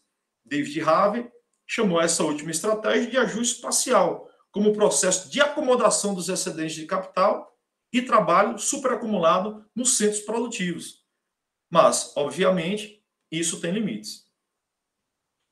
Ainda assim, essas estratégias de deslocamento no tempo e no espaço são transitórias e os limites delas afloram quando o desenvolvimento das contradições do capital impossibilitam a efetividade de suas remediações. Neste momento em que deslocar para o tempo as contradições significa consumir prematuramente o futuro, como observa Robert Kurtz, e deslocar para o espaço significa ativação da produção destrutiva, destrutiva ou por expoliação, nos termos de Harvey, ou por guerra, nos termos de Mesaros, a análise deve se voltar não mais para as estratégias assumidas pelo capital, mas para seus limites absolutos e destrutivos. Como entende Mesaros, a crise estrutural do capital é aquele momento irremediável em que, como observou Marx, as forças produtivas se convertem em forças destrutivas. Do ponto de vista da análise geográfica, a gênese dessa contradição pertence não apenas ao espaço em si, mas à forma de sua produção. Conforme se sabe, a partir de Marx, o capital se divide em duas partes, a constante e a variável. Na verdade, essa é uma leitura inovadora trazida por Marx, em contraposição à leitura da economia política, que confundia a especificidade do capital que se valoriza com o trabalho e a totalidade dos, investimentos adiantados por ele. Esse ponto é importante destacar e é central na análise, porque, mantendo a dimensão espacial como externalidade fixada, o circulante, de capital e trabalho no espaço, como tradicionalmente feito pela geografia, a perspectiva da valorização do espaço pode incorrer nos mesmos equívocos da economia política já, já advertidos por Marx. Ainda conforme a leitura marxiana, também como se sabe, o crescimento do trabalho morto incorporado ao conteúdo material do espaço pela atuação dos investimentos do capital em relação ao trabalho vivo, fonte de toda valorização, se dá de forma orgânica. E quanto mais, cre... e quanto mais crescente for a parte morta em relação à parte viva, maior é o desenvolvimento do capital. A organicidade do capital refere-se a esse corpo orgânico, nas próprias palavras de Marx, em funcionamento sistêmico de matéria e energia humana, conteúdos fundamentais do espaço. Uma monstruosidade que cresce e deve continuar a crescer incessantemente. Quanto menos capacidade tem de, de se nutrir pela sua própria substância vital, o trabalho. Então, esse monstro específico da sociedade moderna compensa sua deficiência qualitativa em produção quantitativa, crescendo ainda mais e mais meios de produção, cada vez mais centralizados e concentrados em torno de si mesmo. E se generaliza conforme aumenta sua necessidade de sugar mais trabalho vivo. Marx meta metaforiza a busca mortífera do capital por substância humana viva como, em suas palavras, a sede vampiresca por sangue vivo do trabalho. A figura do vampiro, recorrente nos escritos de Marx, qualifica a natureza vital dessa monstruosidade que aqui quer se referir. Os tentáculos dessa monstruosidade, que não poderia existir sem a possibilidade de dominação global, conforme são construídas rotas marítimas, redes ferroviárias, hidroviárias, rodoviárias e aéreas, sistema de comunicações e outras redes de trocas de mercadorias e informações, enfim, o mundo globalizado como conhecemos. Nesse mundo, entendido pela sua universalidade, que é a do monstro capital, se expande também pela produção de grandes centros de produção, conglomerados industriais, centros do capital financeiro, metrópoles, megalópolis, cidades médias introduzidas no sistema produtivo destrutivo, além de cidades pequenas e os campos a eles subsumidos e sua função de produtoras do exército industrial de reserva latente. As periferias da cidade são produzidas como espaço de reprodução desse mesmo exército industrial de reserva, não apenas latente, mas fluente, estagnada, pauperizada no lucro proletariado urbano. Enquanto isso, biomas inteiras sucumbem à produção de commodities para o mercado mundial. O capital produz, enfim, nosso espaço de vida, como pasto reprodutivo, apenas para consumir toda e qualquer substância viva nele contido. A condição vampiresca do capital, morta e sedenta de sangue vivo, só pode existir nesse corpo monstruoso a ele correspondente. A esse monstro mortificado, mas que cresce incessantemente por mais consumo das energias vivas do trabalho humano, que nem mesmo qualquer mitologia ou literatura conseguiu ainda metaforizar, a geografia ainda não usou chamar de espaço.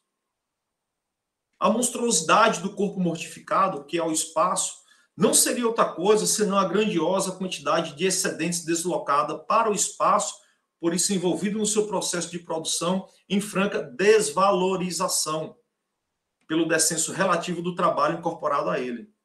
O conteúdo de trabalho morto, cristalizado nas formas da materialidade do mundo, e o conteúdo do trabalho, que concede ao espaço sua vivacidade concreta, estão organicamente alienados.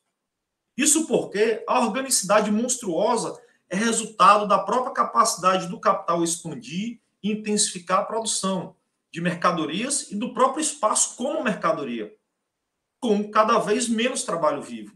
Contraditoriamente, quanto maior é a mais-valia, o sangue vivo do trabalho sugado de forma vampiresca, decorrente dos processos de aumento da produtividade do trabalho, mais se tem uma diminuição relativa de trabalho vivo nesse mesmo mundo produzido em sua forma capital.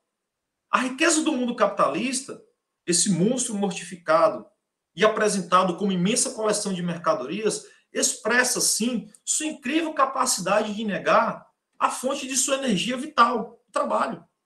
Afinal, se, como observa Marx, e para concluir, sob o domínio do capital, produzir é produzir mais-valia. A produção de espaço não pode ser ontologicamente concebida sem representar essa generalidade monstruosa da qual, maior que o Frankenstein, devemos decisivamente enfrentar e, mais importante, superar. Fico por aqui, a gente caminha para o debate. Obrigado.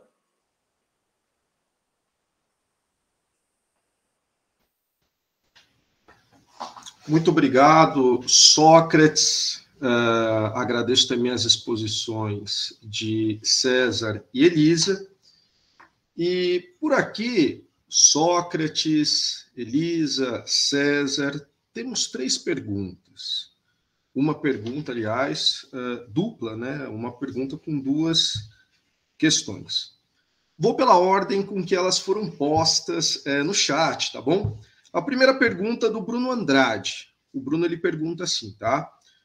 Como romper com a ideia de um espaço estabilizado que a geografia parece reafirmar uma celebração disciplinar e na mesma no mesmo corpo ele ainda continua.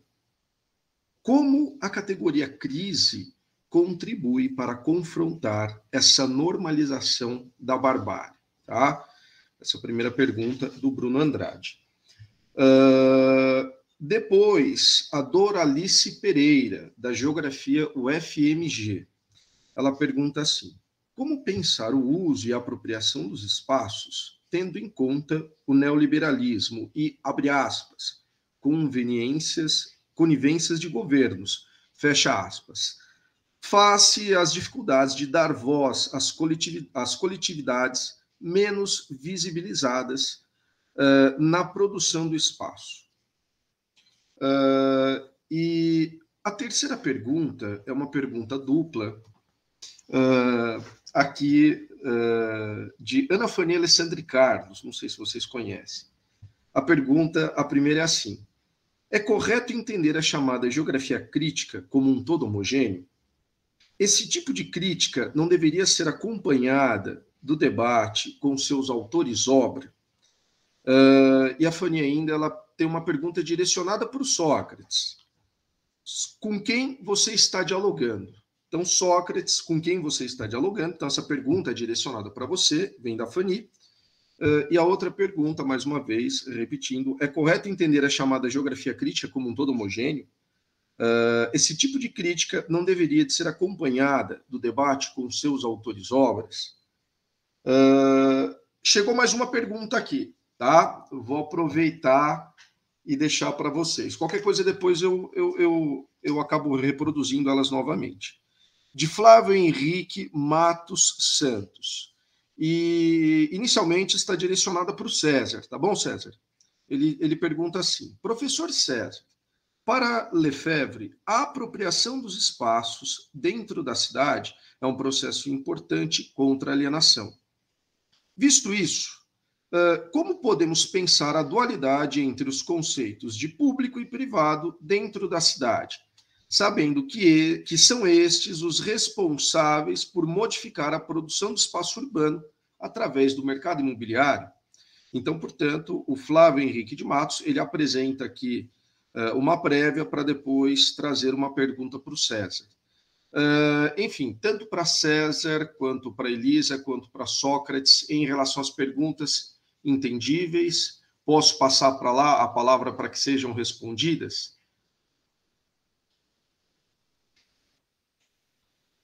Aí a gente responde na mesma ordem. Tudo bem? Tudo bem, César, Elisa e Sócrates? Então, fechou. César, passo a palavra. César, Elisa e, na sequência, Sócrates. Bom, obrigado, Gilmar. Obrigado a todos uh, pelas perguntas. Bruno, Doralice, Fanny, e desculpa do último que fez a pergunta, como ela chegou por último, acabei não anotando aqui, mas do Flávio, tá certo. Obrigado, então, a todos pelas perguntas. Vou tentar responder de forma breve. A pergunta do Flávio, talvez eu consiga responder junto com a pergunta do Doralice, tá? Mas vou começar também, vou, vou seguir a ordem pela qual as perguntas chegaram aqui para nós, tá bom? Então, bom, Bruno, respondendo, você tem uma pergunta, faz uma pergunta dupla, né? Com relação à ideia de espaço uh, estático, não é?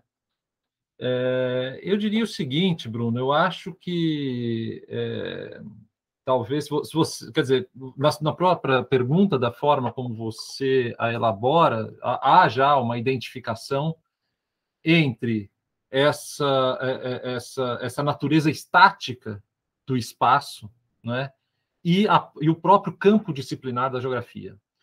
É, e, e, e, é uma associação plausível, sobretudo quando a gente olha para a história da nossa disciplina, não é?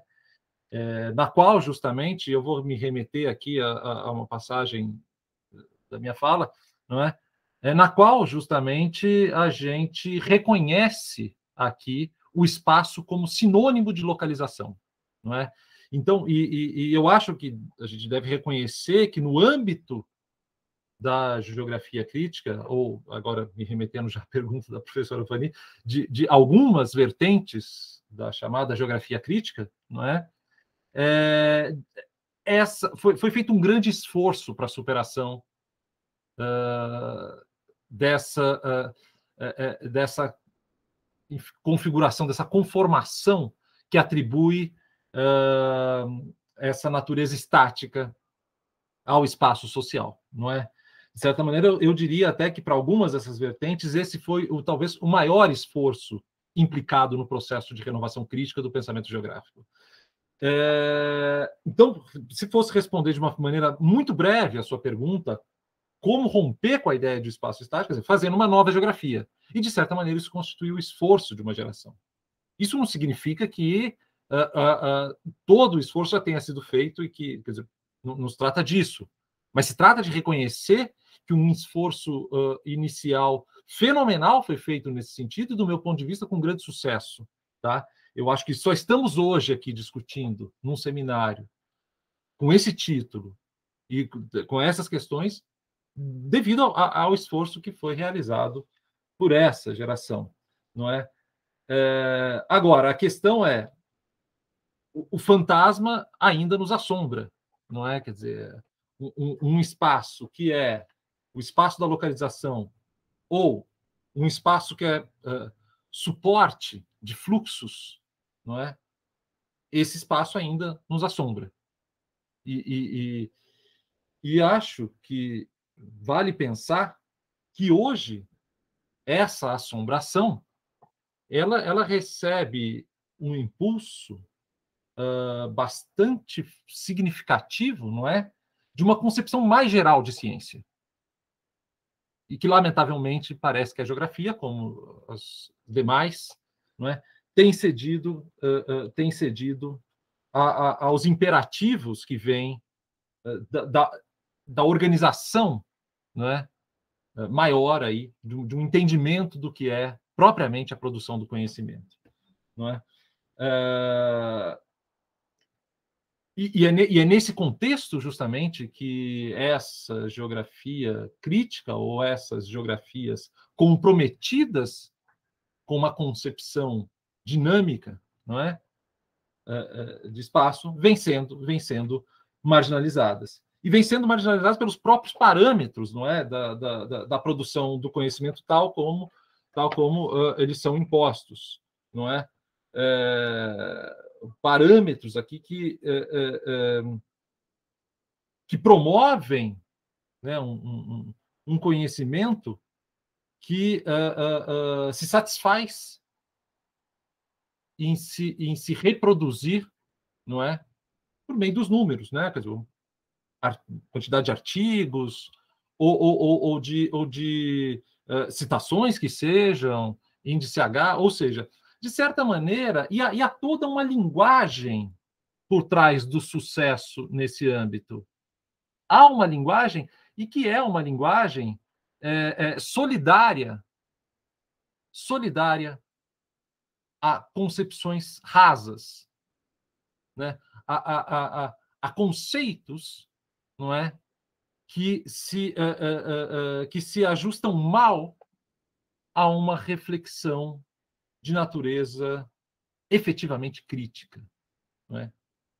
a, a conceitos que são forjados diante de um pensamento, de um pensamento que não pode ser outro senão um pensamento dialético. Portanto, concepções uh, uh, que não são estáveis por definição, não é?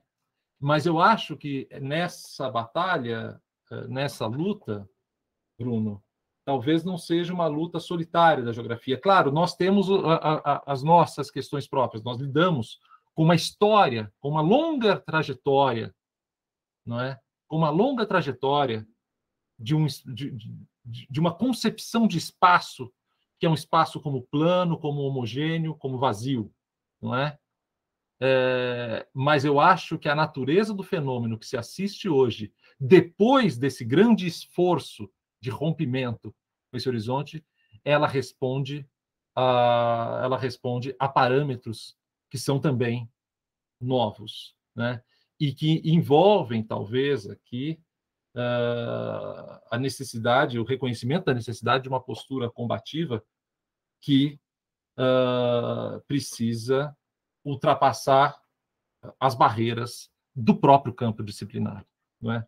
Então, eu, eu diria, faria esse comentário, não é uma resposta propriamente, mas é, é um comentário, uma reflexão. Né? E, no mesmo sentido, eu vou fazer também uma reflexão, mais do que uma resposta, em relação à, à própria associação entre crise e barbárie, que você. Essa não é uma associação nova, né?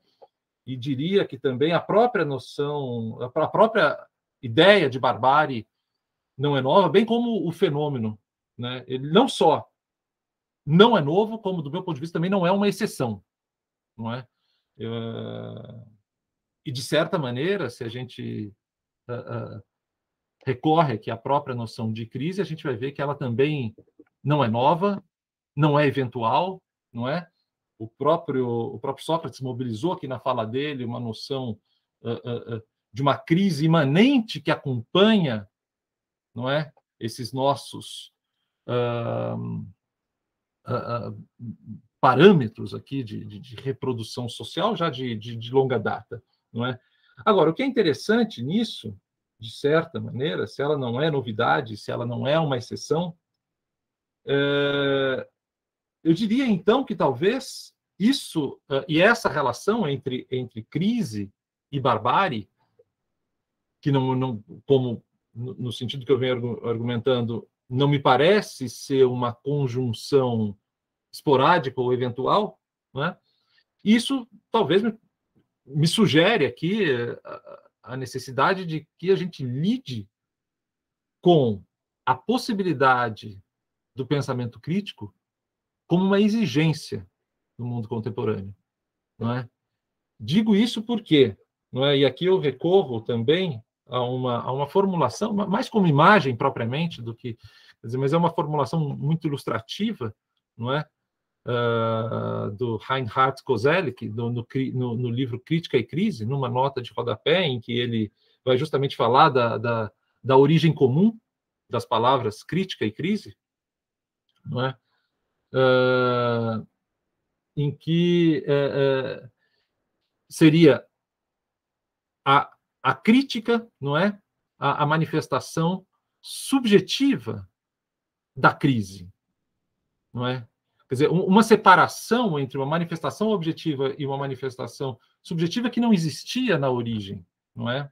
Então, é, é, e essa separação, que é a qual nós recorremos, não é? quando falamos de pensamento crítico ou, uma, ou da crise mundial, na verdade, essa observação me parece absolutamente crucial para que a gente entenda o fato de que o pensamento crítico é, é aquele mais apto, mais preparado para lidar no reconhecimento e na compreensão dos processos dos processos que culminam nas crises que queremos decifrar. Não é? Eu digo isso porque não se resolve o problema da barbárie com uma ciência positiva.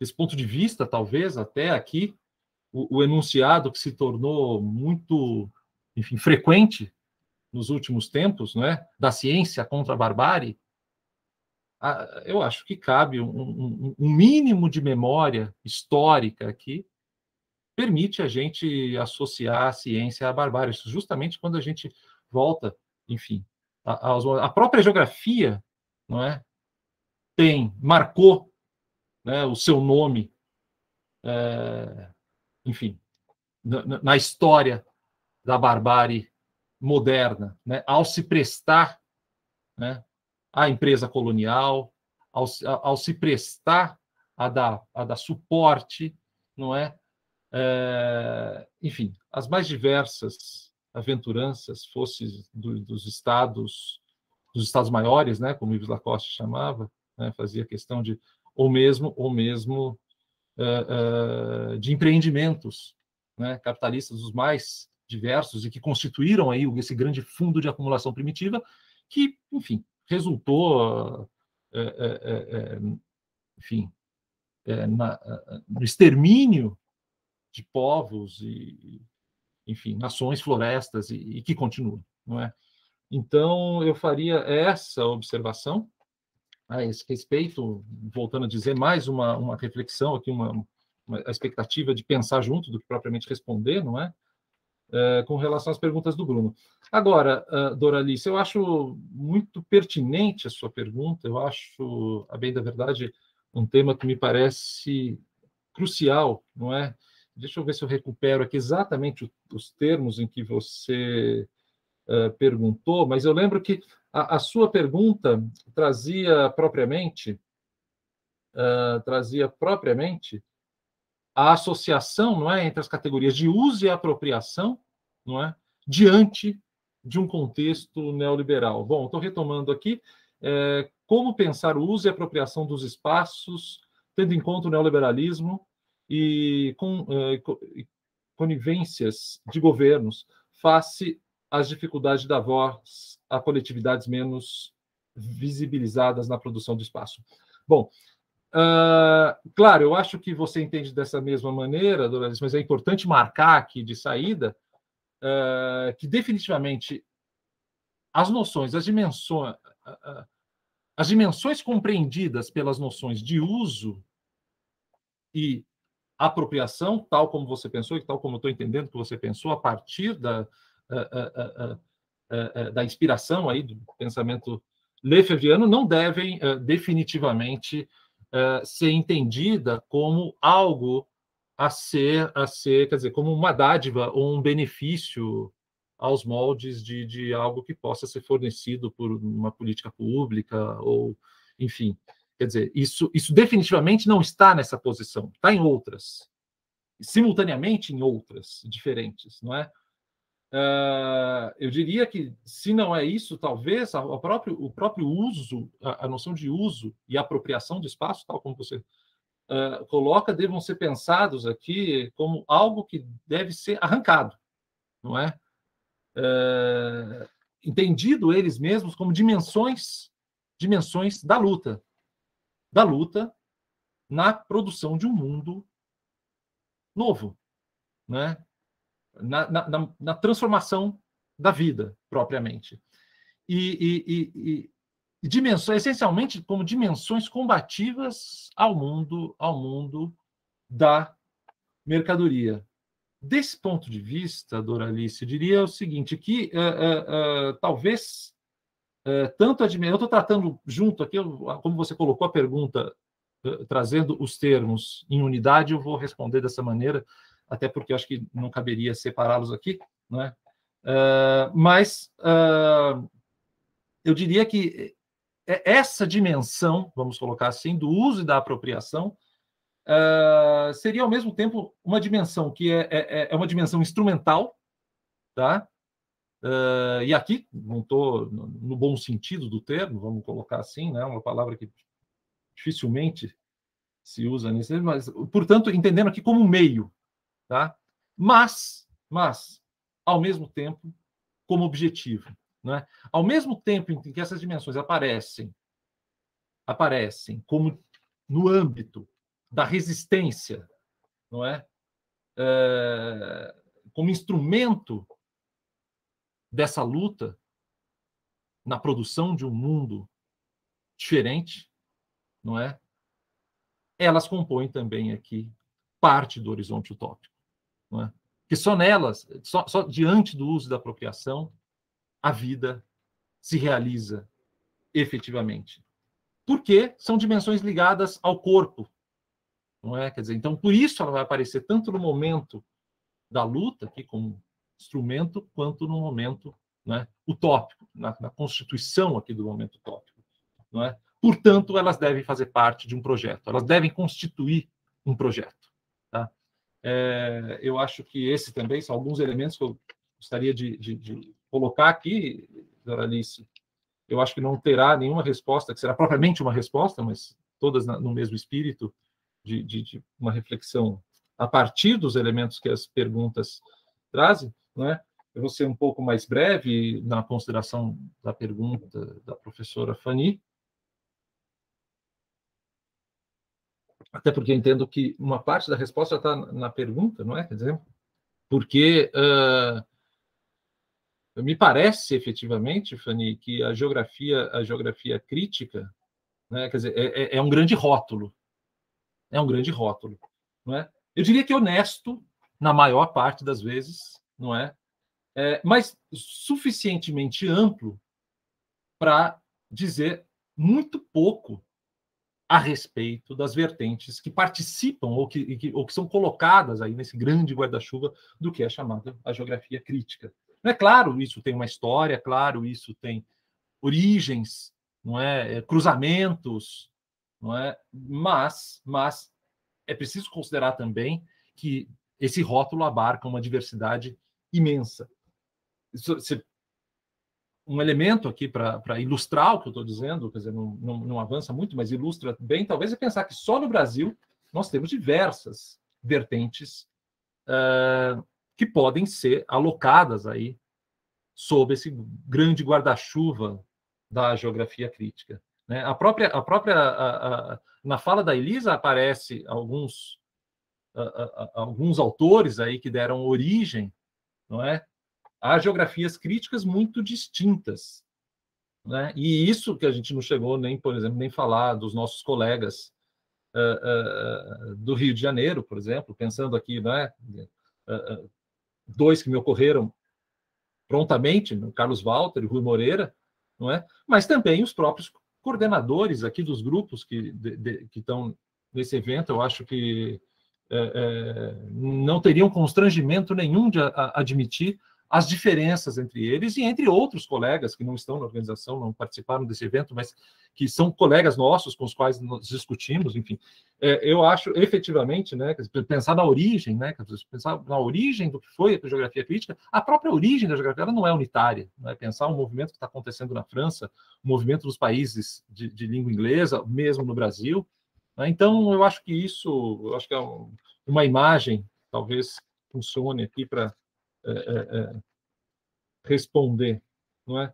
Bom, uh, agora, justamente, Fernando, né, se não me engano, é Flávio, desculpa, Flávio, uh, não cheguei a anotar seu nome aqui, então, mas de toda forma, Flávio, uh, obrigado pela pergunta também, é uma pergunta que gosto de pensar, não é, sobre isso.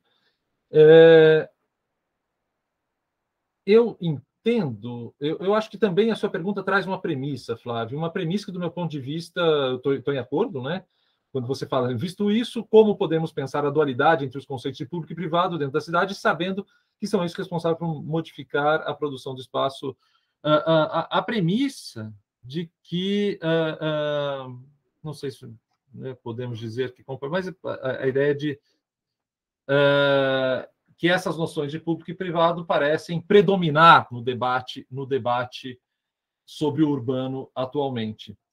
Agora, o que eu acho interessante é que essa, essa dualidade, como você diz, entre público e privado, não me parece ser um reflexo do primeiro par que você traz entre apropriação e alienação. Não, é?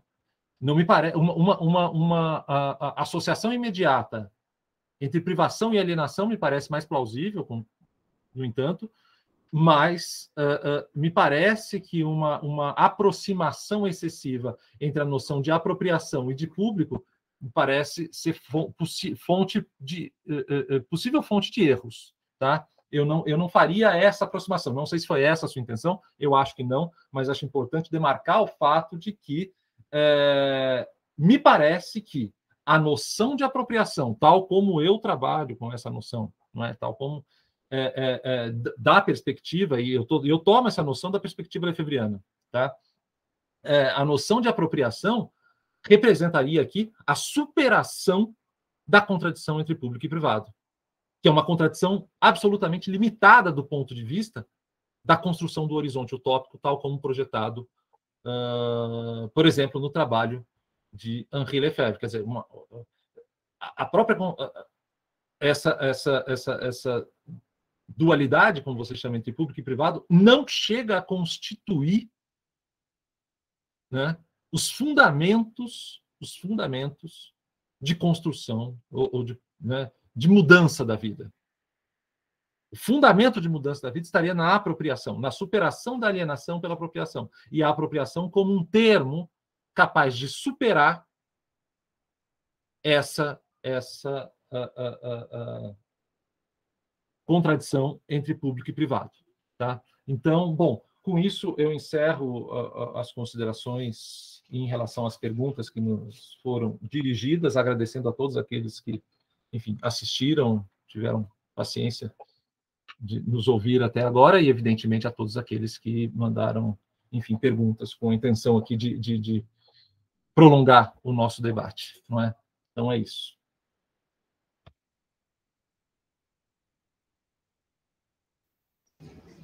Vai lá, Elisa. Bom, é, eu vou, vou, vou, ser breve. Eu tenho.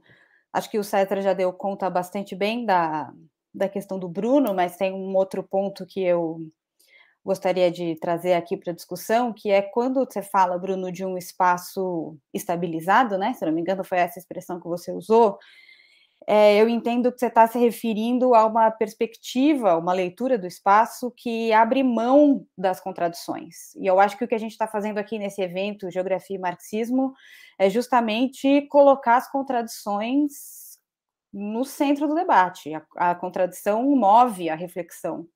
Então, quando a gente está numa mesa que está discutindo justamente capital, trabalho e crise, a gente está debatendo a contradição explicitamente, do meu ponto de vista.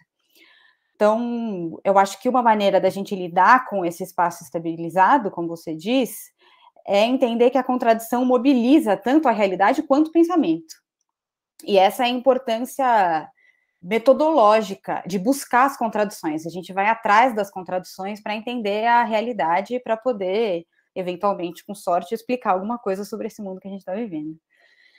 É, acho que, bom, eu Vou dialogar um pouco agora com a Fanny, com a questão que ela faz sobre a geografia crítica ser homogênea, e no meu entendimento, Fanny, de fato, a geografia crítica não é um todo homogêneo.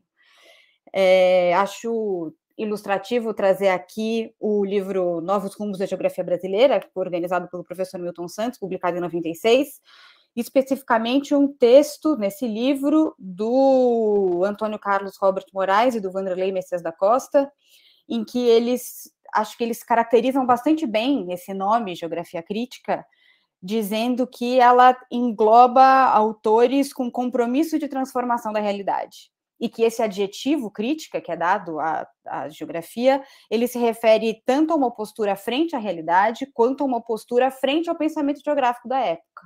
A questão é que é possível tomar diferentes caminhos para estabelecer essa crítica, como de fato, no meu entendimento, se tomou naquele momento do que a gente pode chamar de ruptura crítica. E o que a gente está fazendo aqui, eu concordo com o César, que é uma leitura marxista por dentro da geografia, em diálogo com as categorias da geografia, foi um dos caminhos que pode se tomar por dentro da geografia crítica naquele momento. É, que alguns autores, inclusive, já chamaram de geografia marxista, enfim, tem, tem nomes diferentes ao longo da história desses últimos, pelo menos, 40, 50 anos de, de reflexão crítica com esse adjetivo, né, na geografia brasileira.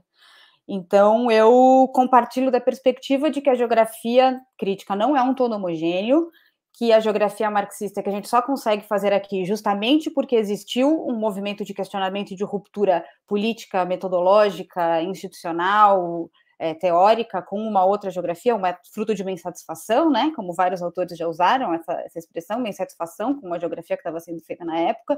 O que a gente faz hoje é desdobramento e fruto do que da, da ruptura que foi feita antes de nós, né? A gente é, a gente não a, gente, a história não começa quando a gente entra nela. Então estamos aqui porque outros vieram antes de nós, com perspectivas diferentes por dentro desse grande desse grande nome, desse adjetivo crítica.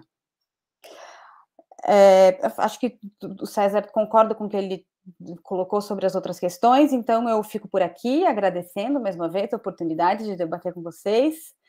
E é isso. Obrigada. Obrigado, Elisa. Uh, pois bem, levando em conta agora as quatro questões, o professor, Cé, o professor Sócrates, é, por favor, passo a palavra aí para as respostas. Tudo bem, então vamos por ordem aqui, né? É, eu acho que o Bruno usa um termo que devemos é, sempre colocar em desconfiança, né? Porque a geografia ela, ela passou por esse processo de internalização da crise como, como uma internalização da crise disciplinar e, em larga medida, esse é um dos pontos centrais que caracteriza a geografia crítica, depois eu vou entrar nesse debate, é, houve, de fato, uma celebração epistemológica, né, inclusive do espaço, principalmente do espaço. Né? Essa palavra, ela, acho que ela, ela qualifica muito bem né, é, o que os fetiches acadêmicos e científicos pode nos levar. Né? É, e de fato, Bruno, é, concordando com o que a pergunta ela induz, né, é, duas coisas a gente tem que pensar. Primeiro, o conceito de espaço ele surge exatamente no processo de destruição, né, no processo de, de, de crise estrutural que ocorre na década de 70. Então, qual seria uma categoria que tivesse uma amplitude filosófica e, ao mesmo tempo, crítica, dentro de uma perspectiva né, minimamente humana, para não falar de transformação, porque é um termo muito relativo, é, que pudesse, enfim, né, unificar todas essas pretensões, ou de sociedade ou de ciência que pensa a sociedade, é o espaço. Então, ele foi providencial dentro de um momento muito específico. Né? E ele deve ser colocado, claro, né, como Marx coloca no trabalho, ele se torna categoria que, que, que que, que confere concreticidade à produção do valor humano, à produção da riqueza humana a partir do capitalismo, porque é no capitalismo, como uma sociedade mais desenvolvida, que essas categorias se emancipam. A mesma forma, é o espaço para a geografia, que corretamente a gente se apropriou dela como, como, como expressão dessa universalidade é, concreta humana. Mas a gente não pode deixar de entender que ela é fruto desse momento é, bastante contraditório de explosões de crise. Né? Portanto, é, é, e é exatamente esse movimento que a gente não pode deixar de colocar como centro da análise. Então, se você coloca o espaço é, não como não a partir de uma, de, uma, de uma estabilidade epistemológica, mas a partir de uma instabilidade crítica, que é, é onde se dá o próprio desenvolvimento crítico do capital na sua internalidade, no conflito capital-trabalho, esse espaço nunca vai ser estático. Importante afirmar isso, por exemplo, é, a geografia crítica, né? Daqui a pouco eu vou falar sobre essa geografia crítica, mas as perspectivas de geografia crítica, pelo menos aquelas que hegemonizaram né, o debate geográfico na década de 80, né? E não foram só várias, mas foram vários momentos de várias geografias dessas. Né? é, é, ela foi incapaz de criar, por exemplo, a teoria geral da crise. Né?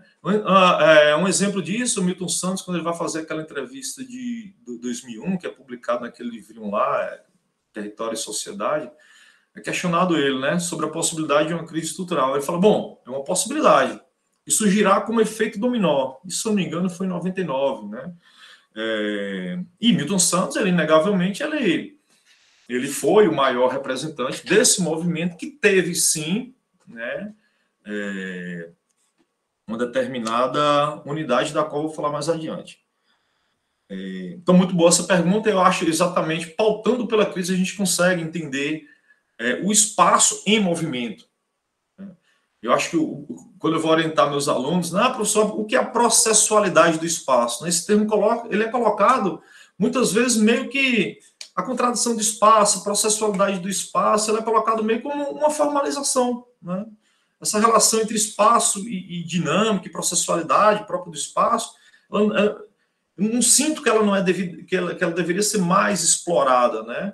É, e eu não vejo outra forma de explorar essa relação entre espaço e o movimento de produção do espaço, senão pelos, pelas contradições que geram os processos críticos, nos termos de Marx, obviamente. É, eu vou avançar um pouco, a gente está ficando tarde, eu vou ser um pouco sintético nas respostas. Doralice é, levanta questionamento como pensar o uso e apropriação dos espaços, tendo em conta o neoliberalismo é, e convivências de governos, faça dificuldade de dar voz à coletividade. Eu acho que, que, que não sei o que significa esse convivências de governos, mas o, neoliberalismo é exatamente a negação absoluta e radical de qualquer possibilidade de dar voz ou de dar é, visibilidade, como tu coloca aqui, Doralice, é, às coletividades. Eu acho que, nesse sentido, eu sou muito mesariano, principalmente quando ele escreve aquele livro, é, século XXI, Socialismo ou Barbárie, é, em que somente uma, um movimento né, é, efetivamente e, quali e, qualitativamente equivalente à dinâmica destrutiva do capital, né, isso envolve uma totalidade do que, do, do, do que vinha a ser é, a classe trabalhadora, né, a geografia confundiu muito classe trabalhadora com proletariado, com operariado, com enfim, né, mas a dinâmica do, do que eles chamam de, de produtores é, associados, né, é, um movimento igualmente gigantesco. Né? É, e o neoliberalismo é exatamente a impossibilidade ou ativação absoluta dessa impossibilidade é, desses, do, dos movimentos que não se colocam é, frente a essa objetividade também gigantesca que representa o movimento sociometabólico do capital. A professora Ana Fani, bom, professora, de fato, né, é, não há uma homogeneidade. Né? E eu me deparei com, com a, quando eu estava estudando, a minha tese de doutorado foi exatamente é, estudar a natureza da crítica geográfica, né?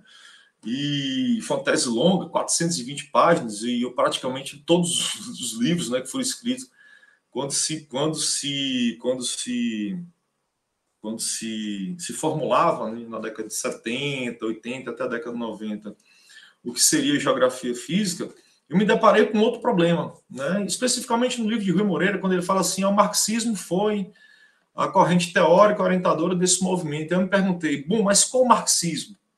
Um marxismo homogêneo?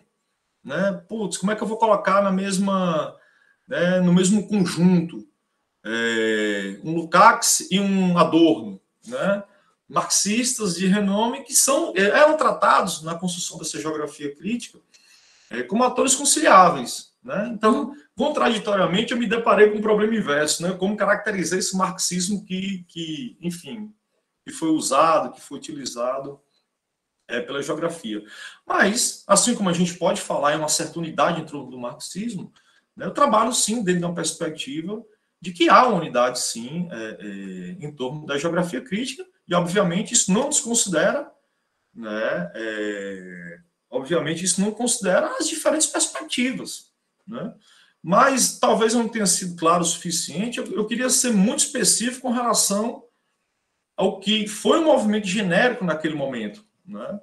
é, que é exatamente essa, essa, essa, essa, essa vontade de transformação, de constituição de uma teoria crítica, é, realmente de transformação social no limite revolucionário, que naquele primeiro momento absorve né, esse, as variantes formas de marxismo, mais marxismo, é, é, com perspectiva de, de, de, de, construção da crítica social. Né? É, é um movimento que se pauta, volto, repetindo né, um, um, pouco do conteúdo da minha fala, que se pauta no, nos processos destrutivos da própria crise. Né? E eu quis ser muito específico nessa geografia crítica, isso, por exemplo, não, não, não te encaixa, não encaixa a professora Ana Fani quando ela fala da metageografia, inclusive foi uma das referências para mostrar que não há, ou que não houve, uma, uma unicidade plena e perfeita dentro dessa geografia crítica, né? mas que houve um movimento hegemônico, sim. Né? É, já trabalhei isso em outros textos, né?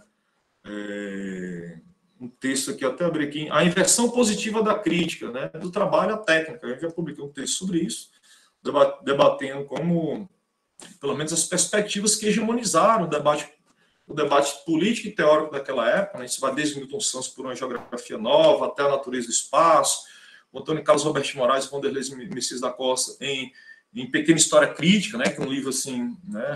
quase todo mundo que fez geografia leu.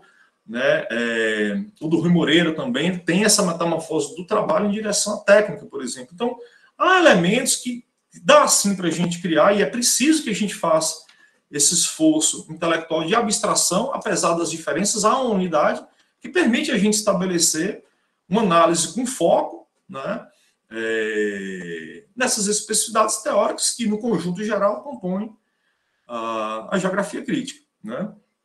É, um, outro ponto, um outro ponto importante é é, como eu apresentei a minha fala, né? Objetivamente, eu falei muito em técnica, eu falei muito em fluxos, eu falei muito em, fi, em fixo, né? Objetivamente, a presença de Milton Santos, ela está muito presente na minha fala e muito presente na minha, na minha escrita, né? É, e, e, e, obviamente, isso não é gratuito, porque in, in, indiscutivelmente Milton Santos significou e representou, né? É, é digamos assim, a parte mais não, foi o teórico mais importante desse movimento de, de, de, renovação, e de certa forma ele mesmo admite isso. Eu liderei esse movimento. Né? É uma coisa que não se pode negar. Né? E de certa forma, com muito respeito, eu faço essas apresentações críticas em relação a Milton Santos, né? muito pesquisa, muito estudo, muita leitura, mas é preciso manter a crítica viva, primeiro, na formulação interna da autocrítica. Né? Uma coisa que a gente há de concordar Inclusive, foi tratado isso na primeira, na primeira, na primeira mesa, né, da qual a professora Ana Felipe fez parte, falando exatamente dos limites desse aprisionamento epistemológico. Né, e é especificamente sobre isso que eu tratei na minha fala, né? É, essa dimensão da geografia crítica que parte de, um, de, que parte de uma crítica social, né, no limite emancipatório, que, portanto, vê a iminência da crise como dado real e concreto, agora refletindo como dado ontológico da realidade, né, aprisiona essa crise é, na sua acepção disciplinar e tenta, tenta resolver essa crise é, de forma a partir da, da, epistemologia. Então, essa contradição entre ontologia e epistemologia, ela é um ponto não observado na construção é, das principais e talvez das hegemônicas né, perspectivas teóricas que estiveram ali é, sendo desenvolvido na década de 80 e a década de 90. Né? Bom, eu não vou me estender muito, o pessoal está tá falando aqui que a gente já está um pouco tarde, né? de fato, 9h15, né? mas é, é, eu queria muito agradecer aí, acho que a gente vai finalizar aqui, não sei se não tiver outra rodada, eu queria muito agradecer aí, principalmente é, Rogata, né, Gilmar, por ter feito o, processo aqui da coordenação, também a Lisa e o César, né? Prazer enorme conhecer vocês, né? Eu gostei muito da fala de vocês e acho que a gente pode até desenvolver esse debate para além daqui desse momento, né? Também a professora Ana Fani e aos demais aqui pela, pela, pelos questionamentos, porque mantém vivo o debate, né? É, é de forma triste, apesar de cansativo esses três dias, mas é, é, tem uma dimensão de tristeza, né? A gente está tendo que concluir esse evento agora aqui. Né? Então, é, e principalmente eu queria agradecer o, o pessoal do GPET, né, na professora da, da, da Alexandrina, meus colegas, meu grupo de estudo do qual, do meu grupo de pesquisa do qual estou representando, né? Agradecer a eles pela confiança, agradecer ao grupo pela, pela enfim, por, por acreditar que eu, que eu pudesse estar aqui representando o que de fato o grupo de pesquisa, o GPECT, ele pensa, está pensando e, enfim, né? Então, boa noite aí a todos, a todas, né? e acho que a gente fica por aqui. Gilmar. Obrigado, Sócrates. Pois bem, como é, no encerrar da hora e como também anuncia né, o professor Sócrates, se por um lado fica esse sentimento e essa sensação de fim de evento, uh, por outro, uh, há também uma sensação uh, de sequência, né? Bom, essa foi a última mesa, Capital, Trabalho e Crise, do seminário Geografia e Marxismo, os limites e horizontes da pesquisa. Aqui ficam os agradecimentos de todos e todas que estiveram no apoio técnico e também na organização e apoio acadêmico deste seminário, tá? Principalmente nas mobilizações aí da professora Rogata Del Gaudio uh, e da professora Glória Anunciação. Agradecer também todos aqueles que mobilizaram energias para fazerem as apresentações nas, res, nas respectivas mesas. Uh, lembrando que foram seis mesas. Mesa 1, um, limites e horizontes da geografia e teoria crítica. Mesa 2, praxis social, espaço, tempo, território. A mesa 3, desigualdade como ideologia e representação. Mesa 4, as contradições da prática, as lutas sociais entre propriedade e apropriação. Mesa 5, da natureza à produção do espaço. E, por fim, hoje, a sexta mesa, capital, trabalho e crise. É importante também ressaltar que o evento apresenta, nesse momento, três grupos.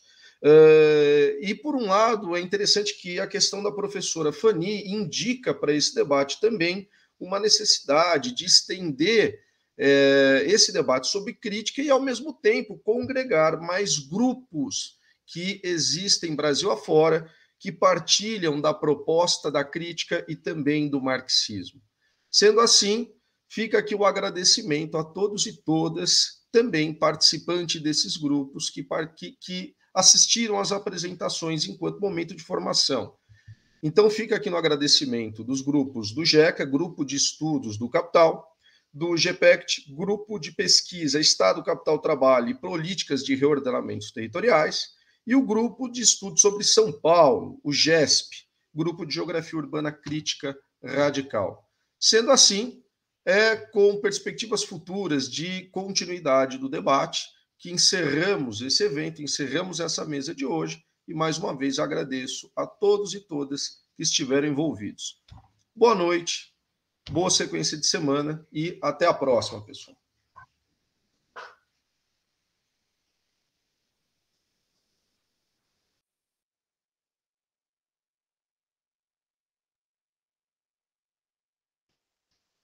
Acabou?